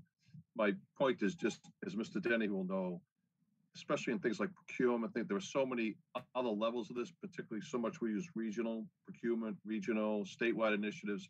These things are already built into a lot of them, and I think Mr. Dennehy can, his team can, you know, highlight some issues like that that already exist. So um, I will second that, Madam Chair. May, may I may I just say something? I know I know we're in the middle of a motion. I, I don't. I don't Yes, know Mr. Hart. uh, if I can, thank you. Um, I I did, uh, Mr. Wells. I appreciate that. I did I did forward the um, the outline to Mr. Dennehy uh, last last week. I and Mike, I don't expect that you've had any opportunity to take a look at it, but precisely for that reason that you that you point to, Mr. Wells, is that uh, it is crucial that the town administrator um, take a look. And Yes. I I don't think that we could successfully have an an operational policy without his and the select board's direct input input. So I agree wholeheartedly. Okay, thank you, Mr. Hart. Thank you, thank you. So we have a motion that's been made and seconded. Do we have any discussion by the board? Or any questions for the Equity and Justice Committee? Seeing and hearing none, we can go to a vote on the motion. Uh, Then all in favor of Mr. Zullas's motion, Mr. Doyle, Yes. Mr. Zullas, Yes. Ms. Collins, Yes. Mr. Wells, Yes, and myself, yes. Okay, well, thank you both um, for being with us tonight. I think the next steps then are to uh, let the Policy Committee and the Equity and Justice Committee, Mr. Dennehy, take some time to do, do the work and, co- and come back to us with a proposal. You know, I, I thought of one of the thing, while Mr. Zullas was speaking earlier about the need to appoint a co-chair and some new appointments. I'm not positive, but I think this committee, when we appointed it a little over a year ago, had a had a term, a finite term of existence, and we may want to revisit that. I, I think we're coming up around a year, and if it was 18 or 24 months, I think we should ask the committee to let us know whether they think that's something we ought to take up at a future date, you know, to extend it so that, um, it sounds like there's, there's a lot of good work happening and, and more to be done, so um, if, if anyone has any thoughts on that, I see people nodding, so maybe that's already being discussed. So, Madam- yes, Madam Chair, um, we are having that conversation and we've had that conversation with a couple of the members here. Um, but we have not had it as a general discussion with the rest of the board. What we're trying to do over the next couple of meetings is to figure out what is it, what are our goals for, um, what we want to complete? And will it take longer than what our time, which is 18 months? 18 months, okay. So it's another six months. Okay, great. So So we'll, we'll- so let us know what your thoughts are on that when, when you've had a chance to talk with the whole committee about it. We will, thank you. Okay, thank you both for joining us this evening and thank you for your work, uh, putting this proposal together. Thank you, Madam. Thank you very much for your time.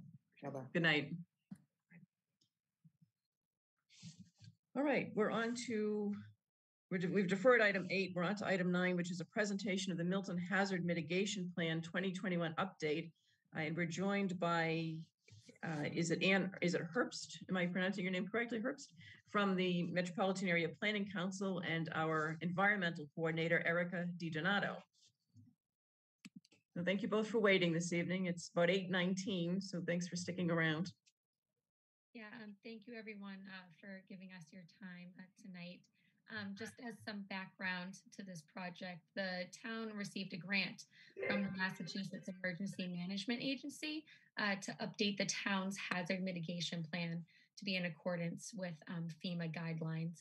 And the current version of the hazard mitigation plan was adopted back in 2014, and it addresses the potential impacts to the town um, from natural hazards uh, like flooding and high wind, high winds. And this particular update uh, brings a focus to the impacts of climate change as well. Uh, and with this grant, the town selected um, MAPC, the Metropolitan Area Planning Council, to assist the town um, with the updating process. Um, and so far, this process has involved putting together a project team composed of town staff members and we have met to discuss uh, where the impacts of natural hazards most affect the town and have worked to set up goals uh, for addressing these impacts and mitigation measures that will uh, benefit the town. Uh, we have also held our first public meeting back in June uh, to receive input um, and concern, concerns from the public, uh, which we have taken into consideration. Um, and as mentioned with us today is Ann Herbst, uh, who is the Senior Environmental Planner uh, from the Metropolitan Area Planning Council. And she'll be giving a brief presentation on the um, update to the plan. Um, so with that, I'm going to pass it over to Ann. Okay. Thank you, Erica. And I will try sharing my screen. Um, uh, Oh, There we go. Perfect. Okay, um, and thank you to the select board for the opportunity to present the work done by a, a team of town staff. Um, so as Erica said, tonight we're presenting the final draft of the updated hazard mitigation plan. Uh, it will be available for public comment for two weeks, and then we'll submit it to MEMA and on to FEMA for approval. Uh, after FEMA approves the draft, it will come back to the select board for adoption. Uh, so tonight's uh, presentation is just informational. Uh, and as Erica says, MAPC has been providing technical assistance uh, to revise the plan. And I, see that your agenda is, is really very long, so I'm going to be as brief as I can be. Uh, um, but I do want to acknowledge the leadership of the project team. Uh, as you can see, we have participation across many of the town's departments, and under Erica DiDonato's leadership, the team worked together to update and develop the plan. Um, so maybe one little step back is to tell you a bit a little bit about what hazard mitigation plan is. Um, so the focus is on natural weather-driven occurrences. So that's th not things like terrorism or chemical spills, for example. The town has other plans that address emergency response and other types of hazards. Um, so the focus is, is really on taking preventative steps to reduce the impacts of natural hazards. Uh, and hazard mitigation planning started uh, in the year 2000, 2000 uh, when the Federal Disaster Mitigation Act was passed. And, and the act has a goal which is for every municipality in the country to have a hazard mitigation plan.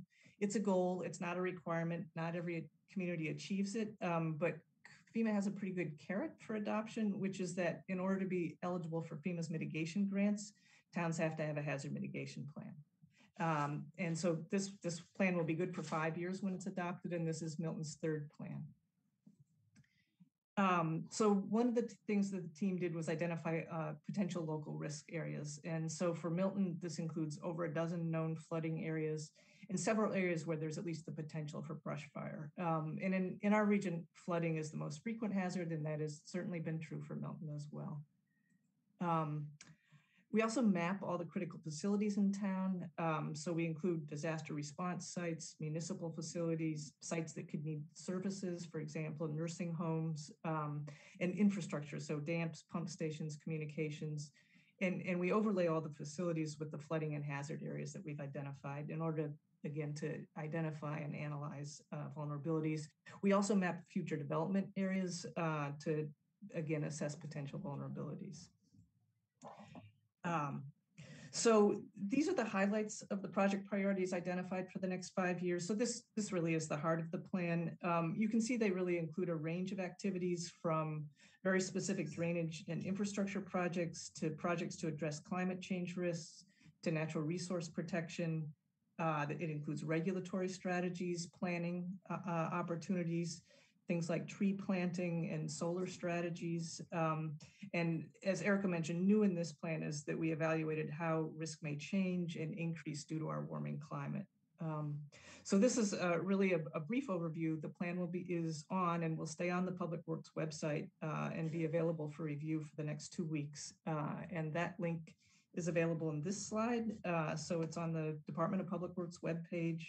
You'll find the link there to the hazard mitigation plan um, anyone can send comments by September 22nd, uh, and they'll be, you know, certainly considered and, and, and included in the plan.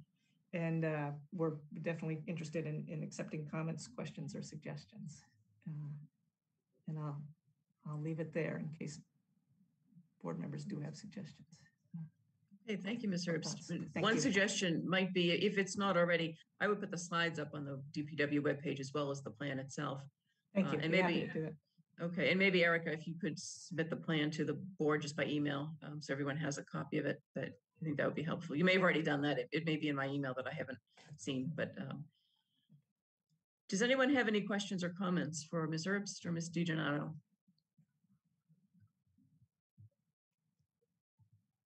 Um, Or Mr. Dennehy, any, any comment or questions for the MAPC? I do not. I, I do want to mention all the hard work that's gone on in the, in the collaborative. Uh, it started with our, our first environmental coordinator, uh, Hillary Waite, and Erica has certainly carried the ball. Uh, if you look further down in our agenda this evening, uh, I will give further accolades to Ms. DiDonato for her work on a uh, coastal pollutant uh, remediation Oh. grant um, Yeah. that the town was just awarded. So thank you for the collaborative effort. Always a good partner, MAPC. Uh, can continue uh, that relationship with the town of Milton. Thank you. Thank you. I was happy to participate. I also want to recognize Erica's leadership and, and very appreciative of the, of the participation of all the town staff. It was really an exceptional committee. You're, you're well served. Thank you. I see Mr. Doyle raised his hand. Mr. Doyle. Thank you, Madam Chair. This is most welcomed, and as you might suspect, has a nice marriage with the work of Milton's Conservation Commission. And that respect, I would like to ask if Erica could send John Cannon a copy along with um, an indication that any comments would be due to you by the 22nd of September, just so that the chair of the Concom can have a last minute opportunity to weigh in. Absolutely. Thank you. Great idea. And, and since comments are due on the 22nd, which is our next regularly scheduled meeting, I'm assuming this would, is something that would be coming back to us perhaps in October for a vote?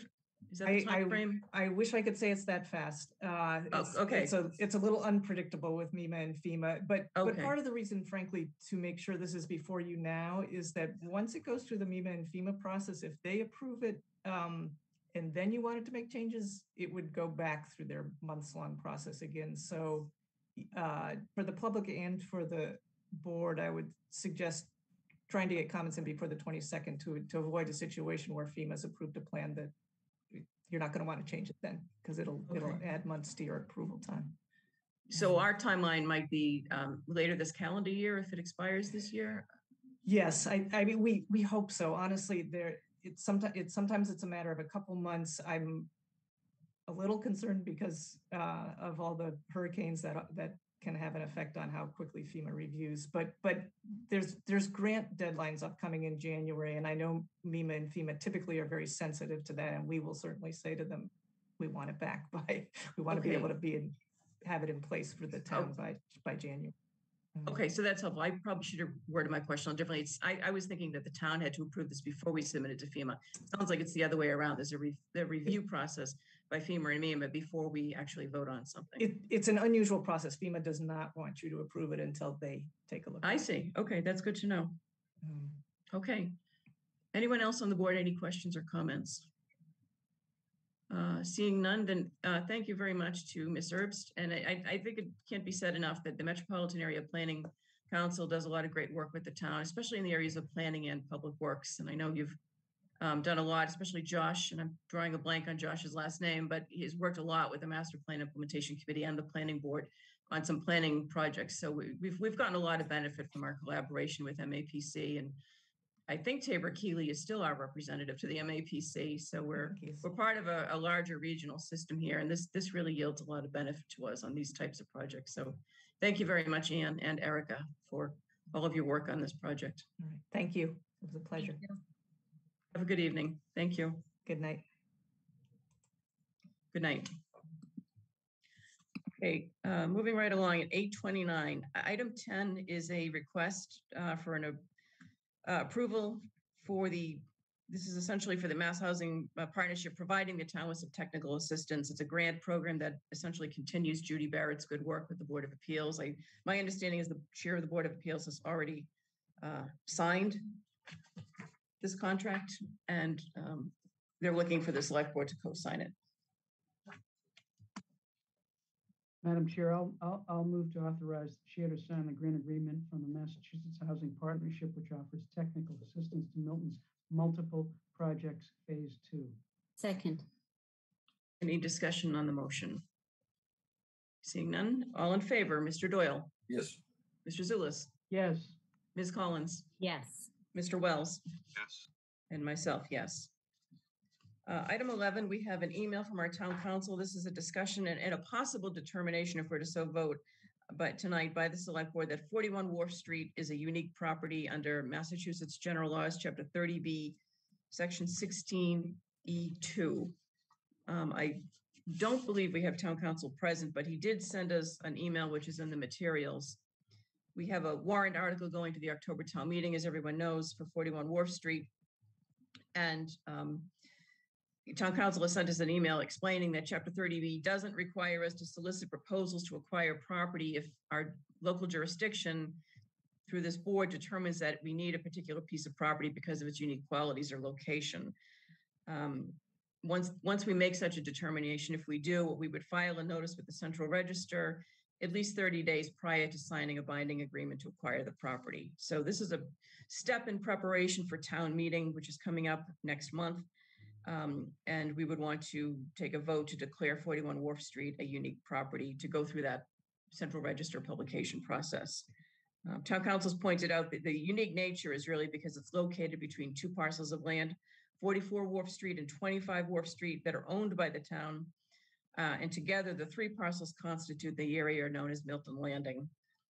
Um, we presently have three easements over the property. So um, those are reasons that town counsel is suggesting that we take this action. Any discussion on this item? Ms. Collins? Um, thank you, Madam Chair. I, um, I would be happy to actually uh, propose that as a motion um, for discussion purposes, but I, uh, I'm happy to see this move forward and I have nothing else to add. I will second that, Madam Chair.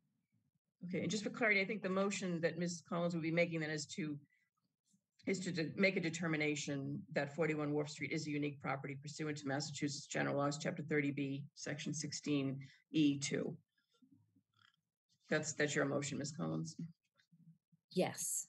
Okay. Um, and, uh, I, I, was town counsel also asking us to then add the language that you were, um, referring to, that the prop- property at issue, 41 Wharf Street, Milton, Massachusetts, 02186, um, is unique, uh, and the reasons for that?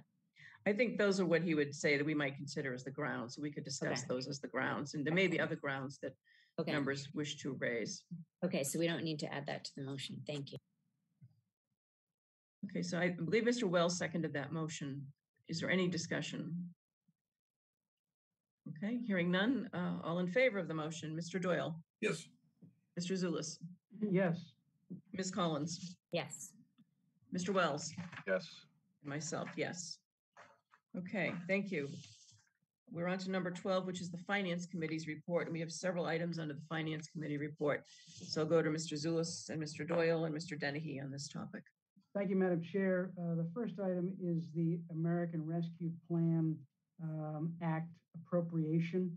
Uh, This is a rec- uh, a a- a recommended appropriation from the Finance Subcommittee that, um, that the um, Public Works Department's request for funding for a water main improve- improvement project, um, project, uh, project uh, um, labeled W-21-1, um, and that that, um, that that project, that um, a million dollars of ARPA funding be appropriated by the select board for the purpose of that project.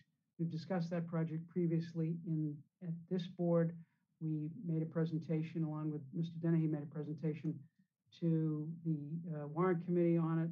We've had a public hearing at which it was described to residents when residents pre- presented alternatives as well.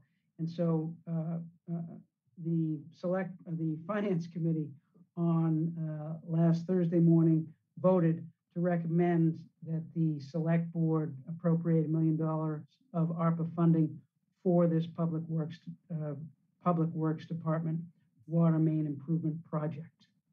Um, And so, based on their recommendation, I will make the motion to approve the Public Works Department request for ARPA funding for water main improvement project uh, designated W-21-1 in the amount of $1 million. Second. Okay, motion's made and seconded. Any discussion on this motion? Ms. Ms. Collins, did you have your hand raised? No, I'm sorry. Okay. Uh, all in favor, Mr. Doyle, Yes. Mr. Zullas, Yes, Ms. Collins, Yes. Mr. Wells, Yes. and myself, yes. Um, I just noticed that we have Amy Dexter, the Assistant Superintendent for Schools, for the Finance Director at the schools present. So if we could have Uh, um, Ms. Stewart, if you could move Amy Dexter up to panelist, she may wish to join us for um, some of this discussion. Sorry, Mr. Zullas, please proceed. Well, well, it's actually um, quite, uh, uh, quite well done that you, you added Amy here because the second matter that the, um, that the Finance Committee on Thursday morning voted was to appropriate, the appropriate the remaining um, funds under the Coronavirus Aid Relief and Economic Security Act, CARES, uh, for technology use at the Milton Public Schools. I believe it's approximately $1,500 with, with those remaining funds, but Mr. Dennehy may be able to give us the exact number. Um, Member Zullas, you are correct. There is a, a slight development today uh, that may be worthy of a discussion at the Okay. next finance subcommittee meeting. That number is correct. We did receive uh, an, a series of invoices from uh, the Milton Food Pantry. If you remember, this board uh, allotted sixty-five thousand dollars to uh, Pat Brawley and her wonderful team uh, at the Milton Food Pantry. Uh, Those invoices came back and it was four thousand four hundred and eighty-five dollars and twenty-eight cents shy of sixty-five thousand. That's another four thousand four hundred and eighty-five dollars and twenty-eight cents of CARES money that we will have available after uh, the finance director, Karen Braval, sorts out um, the food pantry. So um, that just came in today. Uh, It's a great story with the, the amount of funding that was received uh, through this board uh, for those wonderful initiatives. But just to know that there is uh, some additional funding left um, in addition to the 1,500 you mentioned. So. So- So then I guess, I guess I'd revise the motion since there may be additional funding in CARES that we could, we could, we, we certainly should vet and, and make a recommendation on, or revise um, our recommendation of the warrant of the Finance Committee, um, which we talked about the remaining CARES Act funds. Uh, I would, I would move that we approve an additional fifteen hundred dollars of CARES Act funding uh, for use towards technology-related costs of the Milton Public Schools. I'll second the motion. Um, Do we have any discussion on the motion? Seeing none, Mr. Doyle, Yes. Mr. Zullas, Yes. Ms. Collins, Yes. Mr. Wells, Yes. myself, yes. Okay, The next item is the, is the Norfolk County ARPA funding update, and I'll, um, I'll ask Mr. Dennehy, he may have the latest information on that. Uh, Thank you, members Zullas, members of the board. Uh, Not much to update. Um, The Norfolk County Commissioners hosted a meeting today that I- I could not attend. They- They've been in the process of doing hybrid meetings. Uh, One of the only uh, municipal entities I've seen doing hybrid meetings, so. um, But I, I did, I didn't catch it today, um, but they didn't have any specific item listed for that. I know they are working through the process of hiring consultants to put their dashboard uh, and vetting process uh, in place. Uh, They were looking at law firms as well to make sure that the $137 million that will be coming in as requests from um, the other 26 communities, including uh, in addition to this select board, um, will be vetted. So more to come, I'm assuming at their meeting next Wednesday. Um, But um, just know that they are working through the process of hiring uh, consulting and and a law firm to vet all of the projects that are presented to them from the 27 communities. And, and know that, that the town departments are also working on next projects so that we, we can get those in to this board and then through to the Norfolk County Commissioners in the most time efficient manner. thank you, Mr. Dennehy. Um, Town meeting articles. Yes, next, thank you, Madam Chair. Um, We had a discussion on Thursday morning in our Finance Subcommittee, pardon me, of the um, FY '22 budget revision article. Uh, This article initially was intended to reallocate uh, funding because we thought we were going to be $47,000 short of the appropriation made by town meeting uh, in May. Uh, That uh, shortage of $47,000 was based on the final budget that was voted by the Mass Legislature, which which came up $47,000, uh, $40,000 less than we thought it would be for Milton. However, since that time, the, um, the, um, our chief appraiser in Milton has revised his new growth estimates for this current year, FY '21, uh, to the, to the, um, uh, to the good, uh, to the effect that the estimate is now $225,000 more than the initial new growth estimate. So um, if you uh, take that additional $225,000 that we're now estimating um, that can be used for the town budget, if you subtract out the $47,000 that we thought we were going to have to make up for, uh, that now we won't, uh, that leaves us with about $178,000 of additional unallocated revenue for FY21. So the question is, how do we allocate that additional FY21 revenue? Um, we had some initial discussions um, at our meeting on um, finance subcommittee meeting, finance committee meeting on Thursday. We voted to submit the article, which already has been submitted, but we didn't we didn't vote the amounts uh, because we didn't really have enough information at that point, and we may not as yet have enough information um, to make a recommendation on numbers. Uh, there is a there is a request, you know, as, as this board knows, uh, the police department is uh, three officers down from what had been appropriated by prior town meeting, either two or three town um, two or three years ago. Um, the schools are down three um, individuals from what was what was voted last December's town meeting. Uh, we have had additional um, uh, additional um, requests from other town departments. As we know, the library uh, came in below the requested amount for the library at town meeting. Uh, I think that was about $30,000. Uh, the cemetery um, it has some additional needs of about uh, $15,000. Um, and the building commissioner has some additional needs. The planning department has some additional needs. The fire department has some additional needs. And then the school department, Ms. Dexter's here, the school department has, as I mentioned, they, they have those three staff, staff members, but their needs may well have changed. Uh, there was some indication on Thursday that their needs have changed since Thursday. Um, I'm not sure that we are in a position um, to make a recommendation uh, at this point. Uh, I know we are running on time with the warrant. The warrant committee, I think, is meeting Monday. Um, and warrant needs to go to print, I think, sometime around September 20th or so. Um, but uh, the, the bottom line is we have an additional $178,000 that town meeting in October can allocate to the FY21 budget. Question is how to do it. And so um, my view is that we probably need a little bit more work and that um, uh, we, we, it would be good to get a consensus recommendation from the town administration, town administrator and the schools on how to allocate that money if possible. If not, uh, you know, this board can make a recommendation, warrant committee can make a recommendation, town meeting can make a decision. But I think we need a little bit more work on this. Uh, I realize it'll put some time pressure on the warrant committee, but um, but this has come up very recently, and I think we need to do it in a deliberate fashion. So that's my view on that. Mr. Dennehy and Mr. Doyle may have may, may have views on that as well.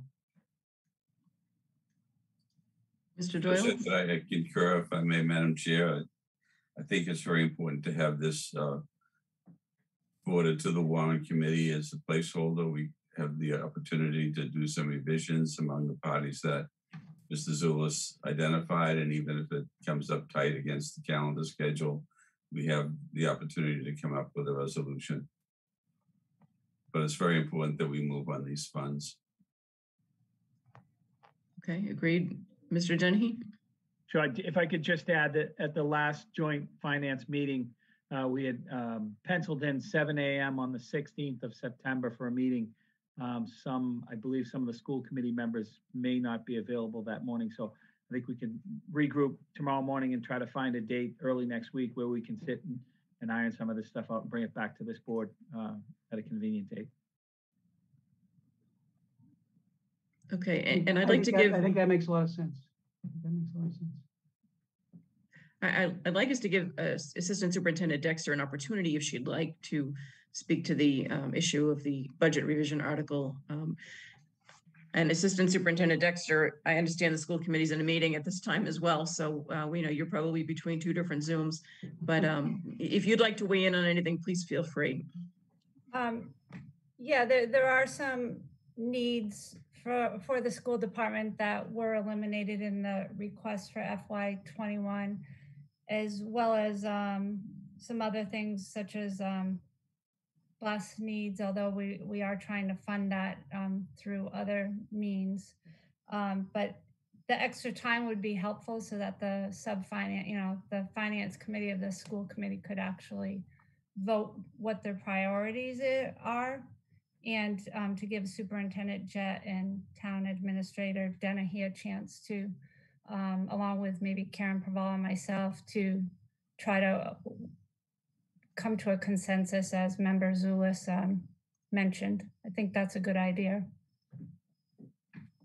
Okay, thank, thank you, Ms. Dexter. I, I think the, I know that the warrant committee clerk has reached out to the printer to, to uh, go over the, the deadline and was able to push it back a little bit further into September for going to print with the warrant. It, it's a short, much shorter warrant than what we would have for an annual town meeting warrant.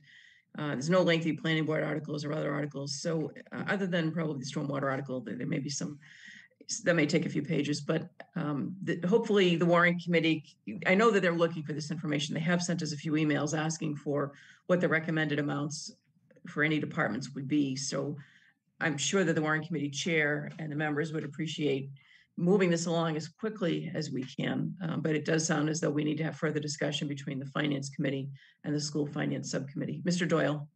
To that point, Madam Chair, I was asking Amy if she has a date for the next school committee sub uh, committee on finance meeting. Do you have that calendar yet, Amy? Um, yeah, we meet Tuesdays at five o'clock and, um, our only, well, one of our requests would be that we try to find a time that's convenient for Dr. Craighead because she is chair of the finance committee of the school committee and she hasn't been able to attend the last couple because of the time of day that, um, it's been scheduled for. So I would just request that we try to accommodate her schedule as best we can. We we were trying for seven AM for her, right, Amy? Sorry, Arthur, sorry. No, I'm sorry, I, I didn't want to um confuse anybody. I was asking about the, the time for the school committees, subcommittee on finance. When Next next Tuesday, meeting? five o'clock. Next Tuesday at five, okay. Yeah, we want to make the, as much of an accommodation as possible. That's what Mr. Denny was talking about. So you will have uh, information from them Tuesday after that meeting. Um, yes, I can ask them to do that. That would be wonderful. Thank you, Amy. Can, can I ask, uh, and sorry, Richard, I see your hand up, but just in terms of scheduling, Amy, you may not know this, but might it make sense for us to meet at five on Tuesday? I don't know if anyone's available, but might, might it make sense for us to, to have a joint meeting or meet right, right after your meeting on Tuesday at five? Well, I think they might want to have an opportunity to vote anything that Superintendent Jette recommends once we have discussions with um, Karen and Mike. But I can certainly ask them and um, we can get back to you. Okay, yeah. But we'll- maybe even like they meet at five and then we have joint meeting at five thirty or something Yeah, like that. i- if that works for people, sure. All right, I, I can ask them that tomorrow. That sounds like a good plan. And Mr. Wells, if you'll just indulge me for a minute too. I think that sounds like a good plan. If, if on our end, if Mr. Zoy, Mr. Doyle and Mr. Zullas and Mr. Dennehy and, and obviously Karen Preval can um, coordinate a time to meet on Tuesday evening, that I'm sure that would be appreciated by the warrant committee. And I, and I would suggest inviting George Asher, the warrant committee chair, to the 5:30 meeting or when- whenever you meet jointly. He did attend some of the joint finance meetings last year, and I think that helped their process.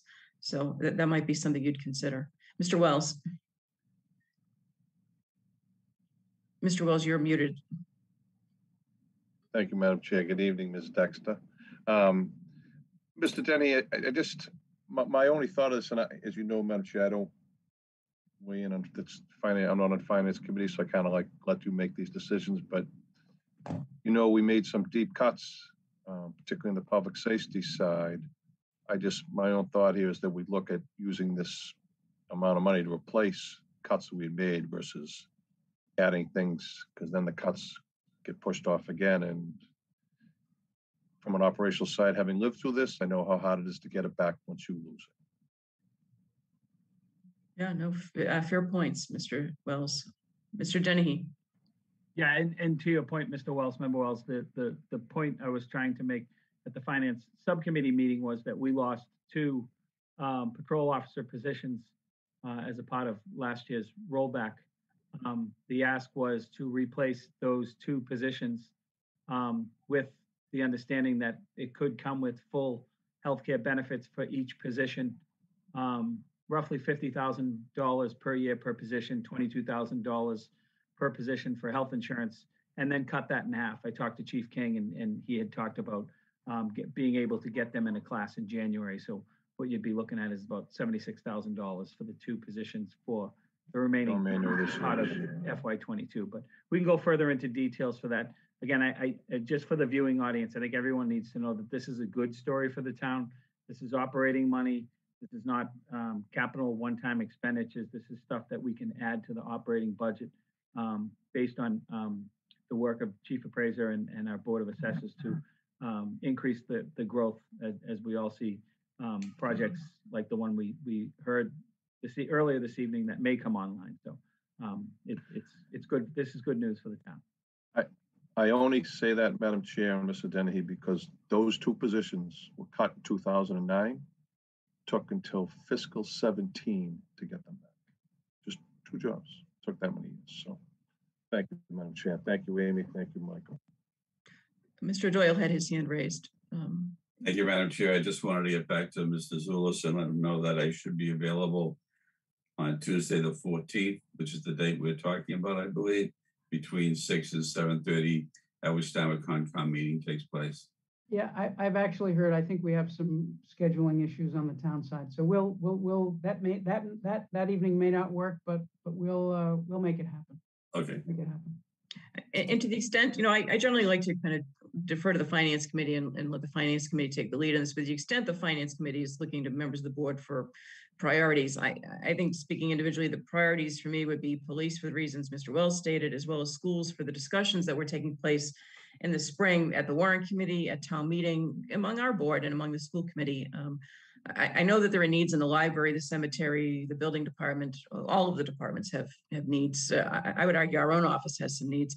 But um, I, I think based on the discussion in the, in the spring, I, I would prioritize education and school needs as well as the police needs. So um, for what that, for what that is worth, and I know you've already, you're already talking about these issues, so you're already aware of that. Any other discussion? Uh, If, on D, on item twelve D one, I- I know we have a cable fund appropriation, but we could, if not, then I want to thank Ms. Dexter for joining us. I know she's in the middle of another school committee meeting, so, so thank you for your time this evening. All right, thank you all. Bye-bye. Bye. Okay, we're, um, cable fund appropriation, should we go on to that, Mr. Zullas? We, Yeah, we we have have- that also as item thirteen, so, um, Yeah, and, and Madam Chair, uh, uh, my memory and my notes suggest that we didn't actually talk about that at Finance Subcommittee. I don't think we, or vote, we certainly didn't vote on it. So I don't think we, I think that's more of a, a, that's more of an item 13 issue, uh, which is the recommendation uh, from the Municipal Broadband Committee on the Okay. cable fund, uh, cable fund appropriation. Arthur, did I miss that? Did- Did we talk about that Thursday? I don't think we did. No, it's not in my notes. Okay, okay. all right, so why don't we go on to item thirteen then? Okay.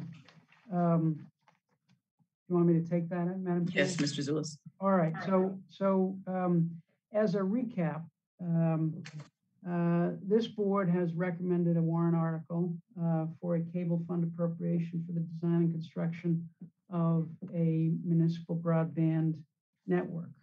Uh, And that article has been reviewed by the warrant committee, not voted on, but I think it's fair to say uh, fairly favorably looked upon uh, by the members of the warrant committee, but they're waiting for a number for what the proposed appropriation from the cable fund uh, would be. the Municipal Broadband Committee voted uh, this morning to recommend a number of $350,000 for that cable fund appropriation. And I'll give you a brief synopsis about why. Uh, The cable fund is a, an amount uh, that, that was created in uh, 2017, uh, or actually 2019 town meeting, I think, created the fund. It, it is an amount of money that is um, funded to the town as part of the cable fees uh, that are paid to our cable operators, Comcast and RCN. They pay under their current, current con, current contracts, five percent of their uh, fees to the town, though, and that goes into this fund. Of that five percent, I believe it's four and a half percent goes on to the Milton Public Access um, uh, channel, Milton Public Access nonprofit organization, to run the Milton Public Access cable service in Milton. Uh, but a portion of that, half percent, is kept in this cable fund. It, it has, it had grown um, as of 2017, when the actual fund was established, it had grown to $371,535. Um, since 2017, um, from 2017 through June 30th, the end of last fiscal year, it grew from 371,535 to $741,552. Approximately $80,000 per year, uh, the fund had grown by. Um, some years it's been a little bit less, some years it's been $50,000, and then there has been an additional amount. The, the need, the, the, the, fund, uh, as voted by town meeting, is supposed to be used um, for uh, supporting uh, cable television, uh, uh, public access television services in Milton, su- supporting um, uh, review of franchise agreement, um, but primarily support for um, uh, the provision of public education cable um, uh, services in Milton. Uh, and so the broadband committee, uh, after consulting with town counsel, who consulted with town the Division of Local Services, is of the view that um, fixing our broadband system, fixing our fiber uh, in Milton, the fiber that connects our town buildings, will help to support cable, um, public education and cable services in Milton because they that those services run over the fiber, right? And so to the extent the fiber is old and less serv- serviceable in at capacity, then cable services don't run as well. So, uh, so the proposal is to use a proportion of those funds after reviewing uh, the, the ins and the outs, if you will, of the fund over the last five years with the finance director, Karen, Karen Preval this morning. Uh, the committee voted uh, to uh, recommend an appropriation of $350,000 from this fund, which was 741,000 last year. The reason for that is uh, the committee felt that it was best to be uh, conservative to make sure that this fund is available for other cable needs going forward. Um, the $350,000 um, uh, is where the fund, roughly where the fund started five years ago.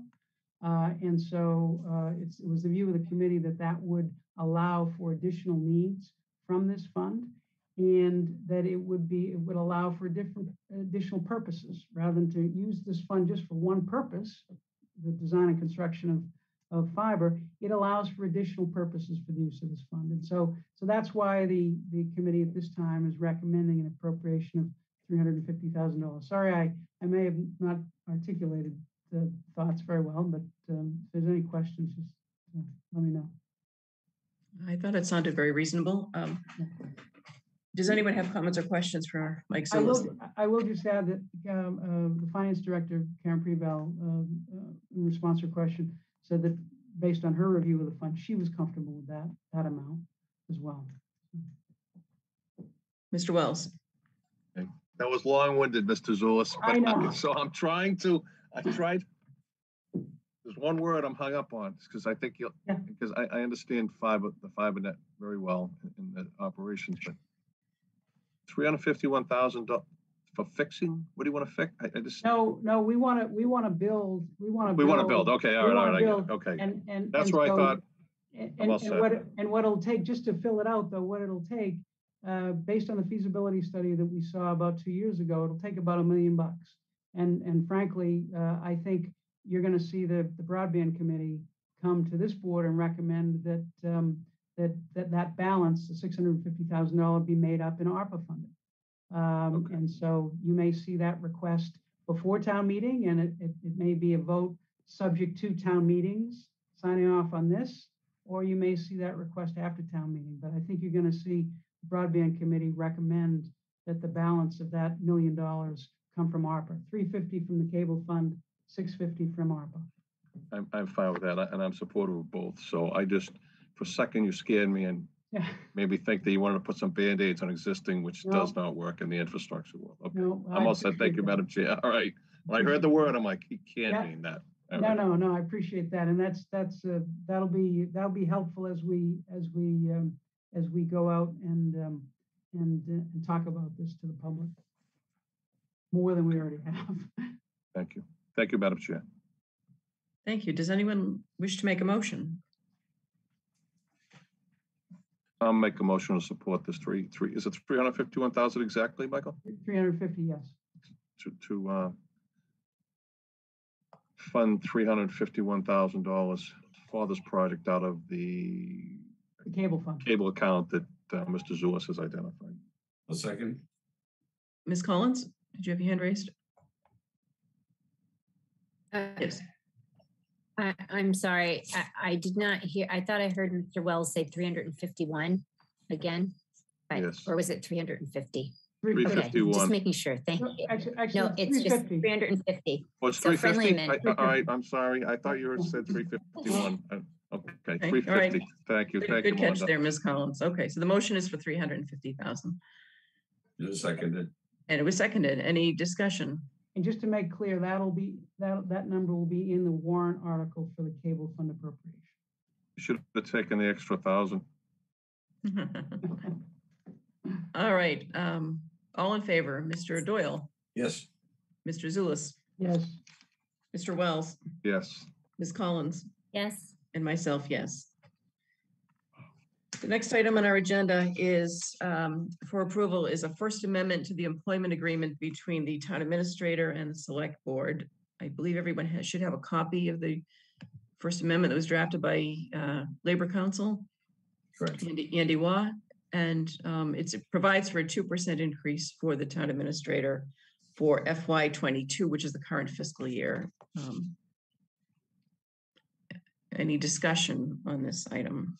And Mr. Dennehy, certainly, please feel free to weigh in.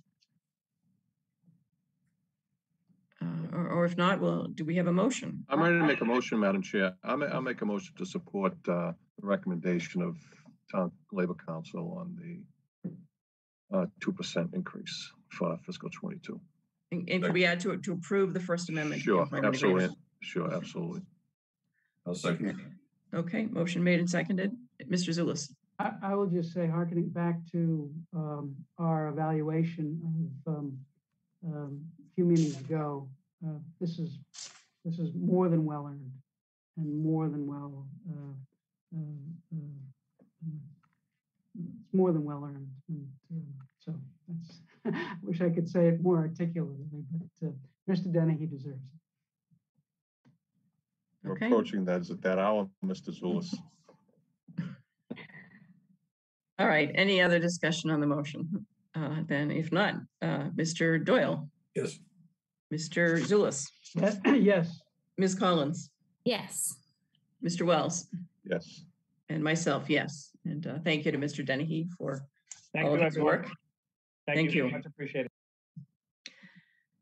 A one-day liquor license, uh, two of them coming up now on our agenda. One for the Wakefield Estate, and one for Historic New England. I'll make a motion, Madam Chair, to approve two one-day liquor licenses, one for the Wakefield Estate and one for Historic New England on someone can help me with the date. I'm reading this off my phone. Do you want to vote them together or or we can? Yeah, I'll, vote them I'll? I'll do them together, yeah. October. All right. I'll- the ma- I, I can just read into the record that it's the Mary Wakefield Estate is as October 9th, Saturday, and uh, that's for an Oktoberfest event. And then the Historic New England is looking for one-day liquor license for September 23rd uh, for an event they're having at the Eustis Estate Healing Through Writing Workshop. So Mr. Wells has made a motion to approve both of those. Do we have a second? Second. Seconded by Ms. Collins. Any discussion? Uh, Then let's vote. All in favor, Mr. Doyle, Yes. Mr. Zullas, Yes, uh, Ms. Collins, Yes. Mr. Wells, Yes. And myself, yes. Okay, that brings us to item 17. That item is going to be deferred. That was a report of the policy committee. We'll put that on a future agenda. We're on to meeting minutes. We have several dates. Um, Let's see, we have March 11th. And we also have three dates that are, have already been approved by the finance committee. The dates of April 30th, May 27th, and June 7th were really meetings of the finance committee that we posted for the board as well, in case any member of our board would like to attend them and take part. So the, the minutes have just been duplicated for the board. Um, and we also have minutes of August 6th, which I think, uh, I, I did read them and I, I think we may have a, a few changes to make to those. So I, I would suggest we defer August 6th, but approve the other ones this evening. If that's agreeable to everyone, if everyone's ready to vote on the other dates. Madam Chair, Madam Chair, I'll make a motion to approve the minutes from March 11th, April 30th, May 27th, and June 7th, 2021. I'll second. Okay, uh, any discussion? Hearing none, all in favor? Mr. Doyle, Yes. Mr. Zullas, Yes, Ms. Collins, Yes. Mr. Wells, Yes. and myself, yes. Um, item nineteen is um, a proclamation for Laurie Stillman, who is going to be stepping down as Milton Substance Abuse Prevention Coalition Director. We all received an email from her and from Caroline Kinsella. Uh, there's an event on September twenty-first that we've all been invited to, and, and the thought is to, for the board to issue a proclamation. I, I actually started working on this and then sought out some dates that Laurie has served in different capacities on the school committee and with the um, Substance Abuse Coalition and just received that information in the last couple of days. And I have not had an opportunity to go back and finish the draft of the proclamation.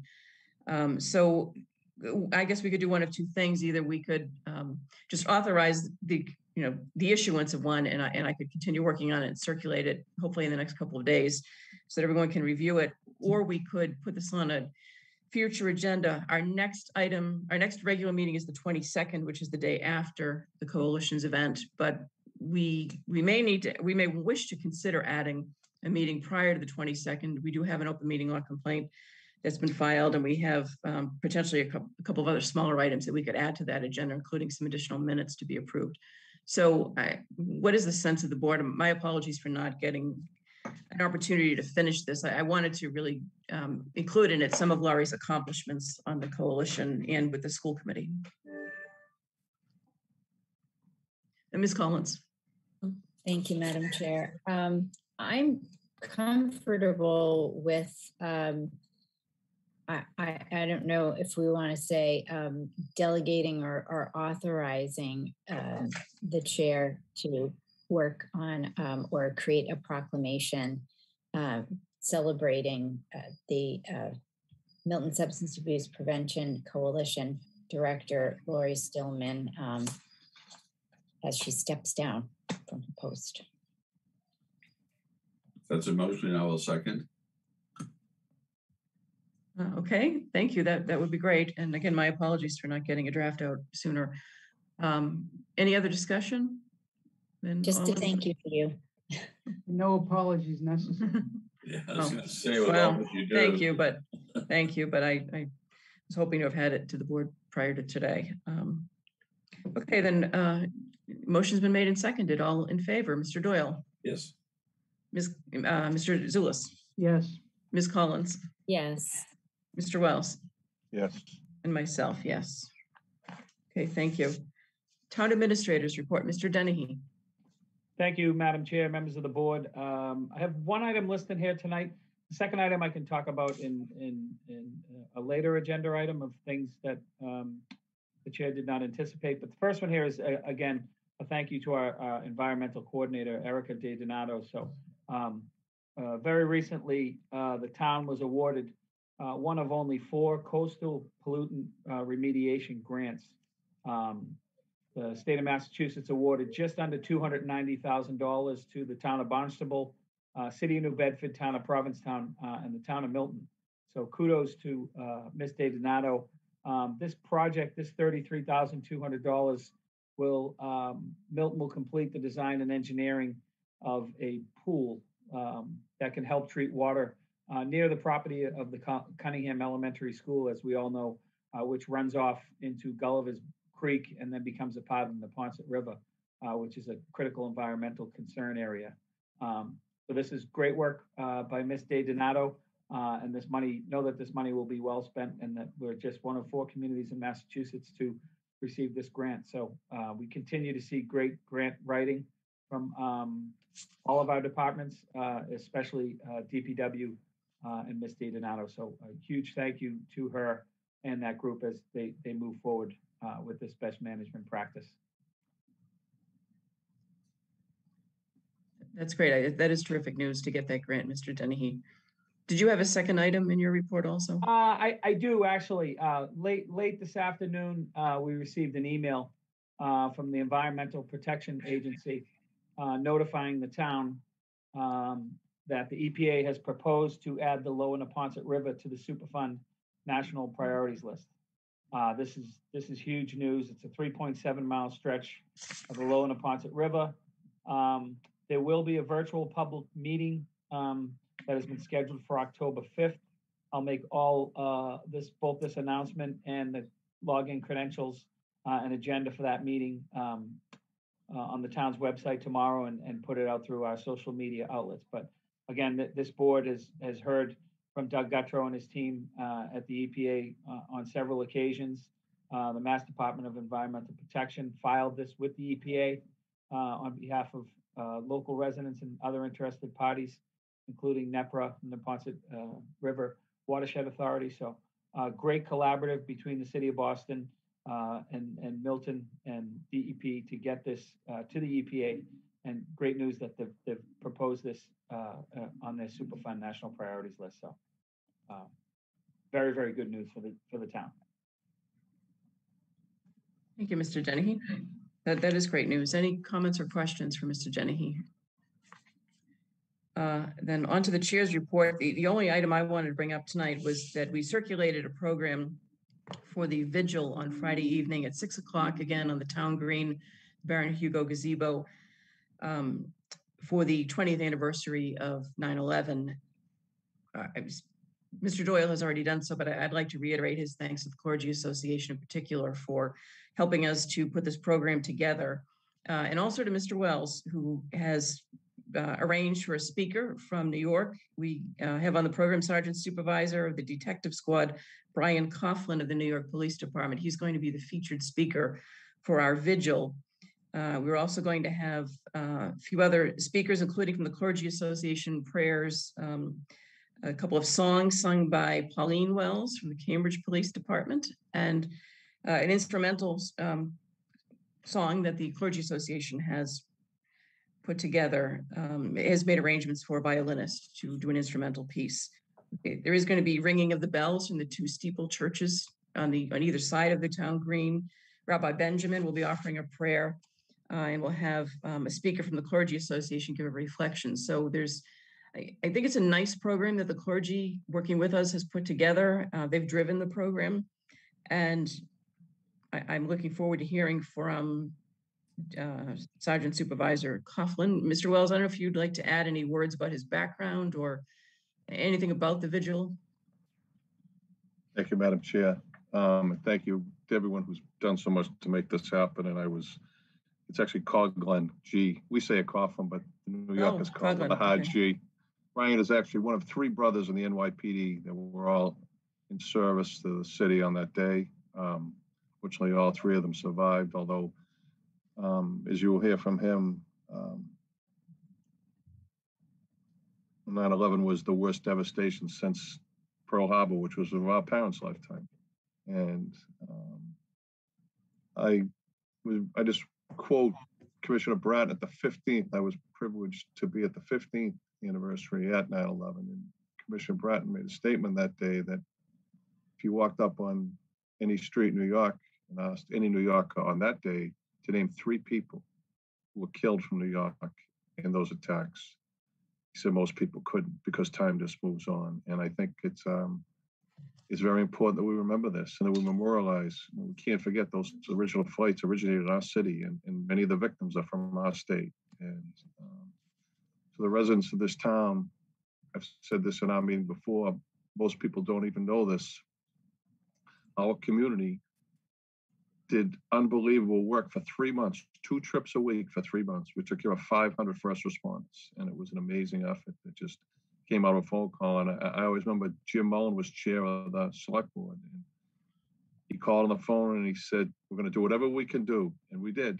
And um, so I think it'd be great to have someone who, you know, lived it. Brian was the first one to actually bring me to ground zero in that first week.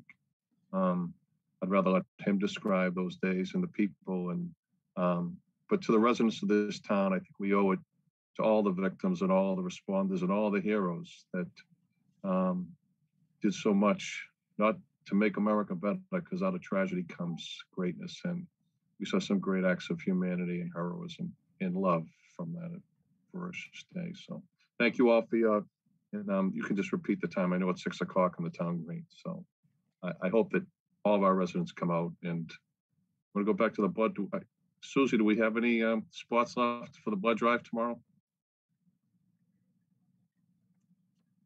Richard, I will check. I think I caught her off guard, Madam Chair. I just want to make I'm- sure we fill them all.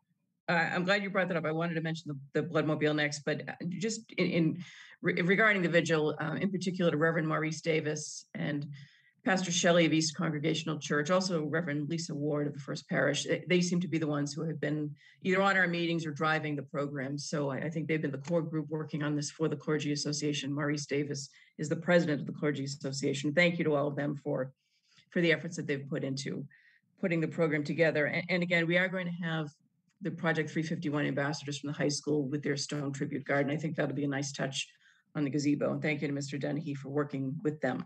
So we invite residents of the town to come out. We, the, the you know, masks are not required for outdoors, but it is the health director's recommendation that um, that if we have a large crowd, that people are wearing the masks and, and social distance as much as possible. We are going to have some masks available if people need them at the town green. Um, and and just tomorrow, this is a two-day observance. So the vigil is Friday evening, but the bloodmobile is tomorrow. And Susie Stewart of the Select Board Office has done a yeoman's work on putting the blood drive together. Has recruited a lot of volunteers from town hall, from the board.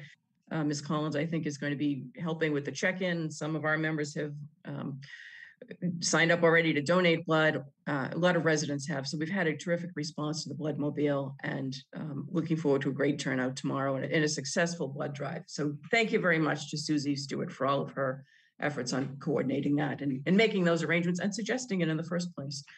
Um, it really shows the the uh, the charitable effort we're trying to do at the same time as, as all as part of this observance that, that's all I had. Uh, and again, the vigil will be broadcast live on MATV for anyone who cannot attend. Uh, it, it will be carried live. And I'm sure replayed over the course of the weekend and the ensuing days. I have no other topics on the, I, I should mention, uh, as I did, we had an open meeting law complaint filed against the board. So we could, we may want to add a meeting to consider that sooner than the 22nd, but um, the 22nd is not too late. It would just, the, the response would be if you do a few days later than that. So uh, I'll defer to the board on whether we want to add a meeting. I, I think we could coordinate it offline with Susie in terms of scheduling, er, getting everyone's schedules together. But if so, that maybe it's something we want to look at for next week. I have no other report. Does anyone have a report this evening? Mr. Doyle, Uh, none, Madam Chair, at this time. Mr. Zullas, Nothing, Madam Chair. Ms. Collins, No, Madam Chair, thank you. Mr. Wells? Oh, Madam Chair. Thank you. Okay, public comment response, we had none this evening. Future agenda items, so our next regular scheduled meeting is the 22nd. Um, Anyone have an item for discussion at that meeting or a future meeting? And what is the sense of the board on whether we want to add a meeting prior to the 22nd? Could be a daytime meeting, uh, if it's just a matter of, uh, you know, an open meeting law complaint response or something, you know, something, if it's ministerial or administrative like minutes. Mr. Wells? So Madam Chair, I- I'm going to be out of state from the 22nd to the 27th, and I'm not sure yet if I'm going to be able to participate on the 22nd. So if you want to have something beforehand, day or evening, whatever it is, I'm open, and I'll, whatever you want to do. Okay, um, wha- what's the sense of the, the members? Mr. Zullas?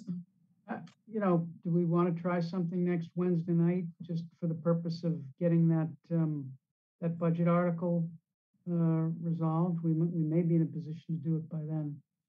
Um, You know, I, I'm just, I'm just, it's a good idea, but I'm just looking at the calendar. That is the start of Yom Kippur at sundown on the fifteenth. So, All right. um, Want to We- go earlier? I, yeah, I guess we could do something daytime if we wanted to that day, or, or maybe Tuesday, well, Tuesday, the fourteenth, is that an option for members? We'd have to, let's see, today's, yeah, we'd have enough time to post for Tuesday if that worked. That, that may not help us in the budget article, because I think that's the. Okay. So, school committee, finance committee is meeting. Okay, so I'll be looking at daytime on the fifteenth then. Prior to the, prior to the, to sundown. I can do that, something. I can do it before one PM, Madam Chair. Before one, okay. Uh, Does that work for others? I'm in a tight window. I can do it between 11 and 1, and I can do it anytime after 3. Uh, That was, that was a hard one, sorry. Between eleven and one. Are others available at that time? I can I- also uh, adjust to go after three o'clock if that works. I could do either one of those. I'm- Yeah, I can as well. I'm I- open I to three. I- Michael, how don't know. much time do you think? How much time do you think to do it, to address it? Actually, I, I don't know if we want to take the budget article up in a daytime meeting. Um, But uh, I have, a I'd have a hard stop at four that day, so I'd do better at the 11 to 1 time. Okay, um. So I, I, well, if we wanted to take the budget up in the evening, I, I think we were either looking at the twenty-second, because the sixteenth would be the, the Yom Kippur Hol- Holy Day. Right. Uh. And, and Tuesday, the fourteenth is too early, so I think we're looking. Okay, so keep the budget on for the twenty-second, and Mr. Wells, you're not gonna be here for that evening, but, um, I will not, so don't, don't do anything to me, Madam Chair, whatever the rest of the board. uh, This is the remainder of the board. Okay, so what, so I guess we're gonna keep the meeting on the twenty-second. We'll, you know, if we have something that's really, that we think really we should defer until October, we can do that. Um, Maybe we take up the budget and some other items. Have a regular meeting on the twenty-second, but anything that's really uh, either it's something that Mr. Wells is working on or something that we really want the full board, therefore we- we'll defer that to October and we'll add sometime around eleven o'clock on the fifteenth. Sounds like that works for everybody, eleven. Okay. Okay, that's great, thank you. Um, And, and if there's any items to be added, please let Susie and me know. Community happenings, obviously the events we've just talked about this weekend, tomorrow the Blood Mobile and, and Sunday with the, vi- Saturday, Friday, excuse me, Friday with the vigil. Mr. Dennehy, you had your hand raised. Uh, yeah, Madam Chair and members of the board, if I might, just for a, a quick second. So a lo- a local group had reached out to me, wondering if, if I could kind of spread the word. The group is called Milton Sports for All. Uh, their idea is to provide a new opportunity for kids to participate in sporting activities um, in a less competitive, more recreational environment. So, um, my understanding is this program will be open to those in grades four through eight and who reside in Milton. Uh, and I've been asked to pass along the information. It seems like a great opportunity for, uh, like, as it reads, a, a less competitive, um, uh, more recreational environment. So anyone interested uh, can email miltonsportsforall at gmail.com. So I did, I did say that I'd pass that along to the, the viewing audience tonight. Again, it's miltonsportsforall at gmail.com. Okay. Any other community ha, any other community happenings? Farmers Market is on for a few more weeks on a Thursday down at the wharf. Before that close, sometime in October is when that will end. Um, Okay, if no other, if no other events to talk about, then I will move that we enter executive session to consider the purchase, exchange, lease, or value of real property, specifically three thirty-four Edge Hill Road, believing that having such discussion in open session would have a detrimental effect on the negotiating position of the board, and to enter executive session to construct, to conduct strategy sessions in preparation for negotiations with non-union personnel or to conduct collect, and I think that's and to collect, conduct collective bargaining sessions or contract negotiations with non-union personnel for all town unions, believing that having such discussion in open session would have a detrimental effect on the board's negotiating position. We will not return to uh, open session. We will adjourn from the executive session. We have a second to the motion. Second. Okay, all in favor, Mr. Doyle, Yes. Mr. Zullas, Yes. Ms. Collins, Yes. Mr. Wells, Yes. and myself, yes. Okay, so thank you to everyone. Thank you to MATV. We are now in executive session.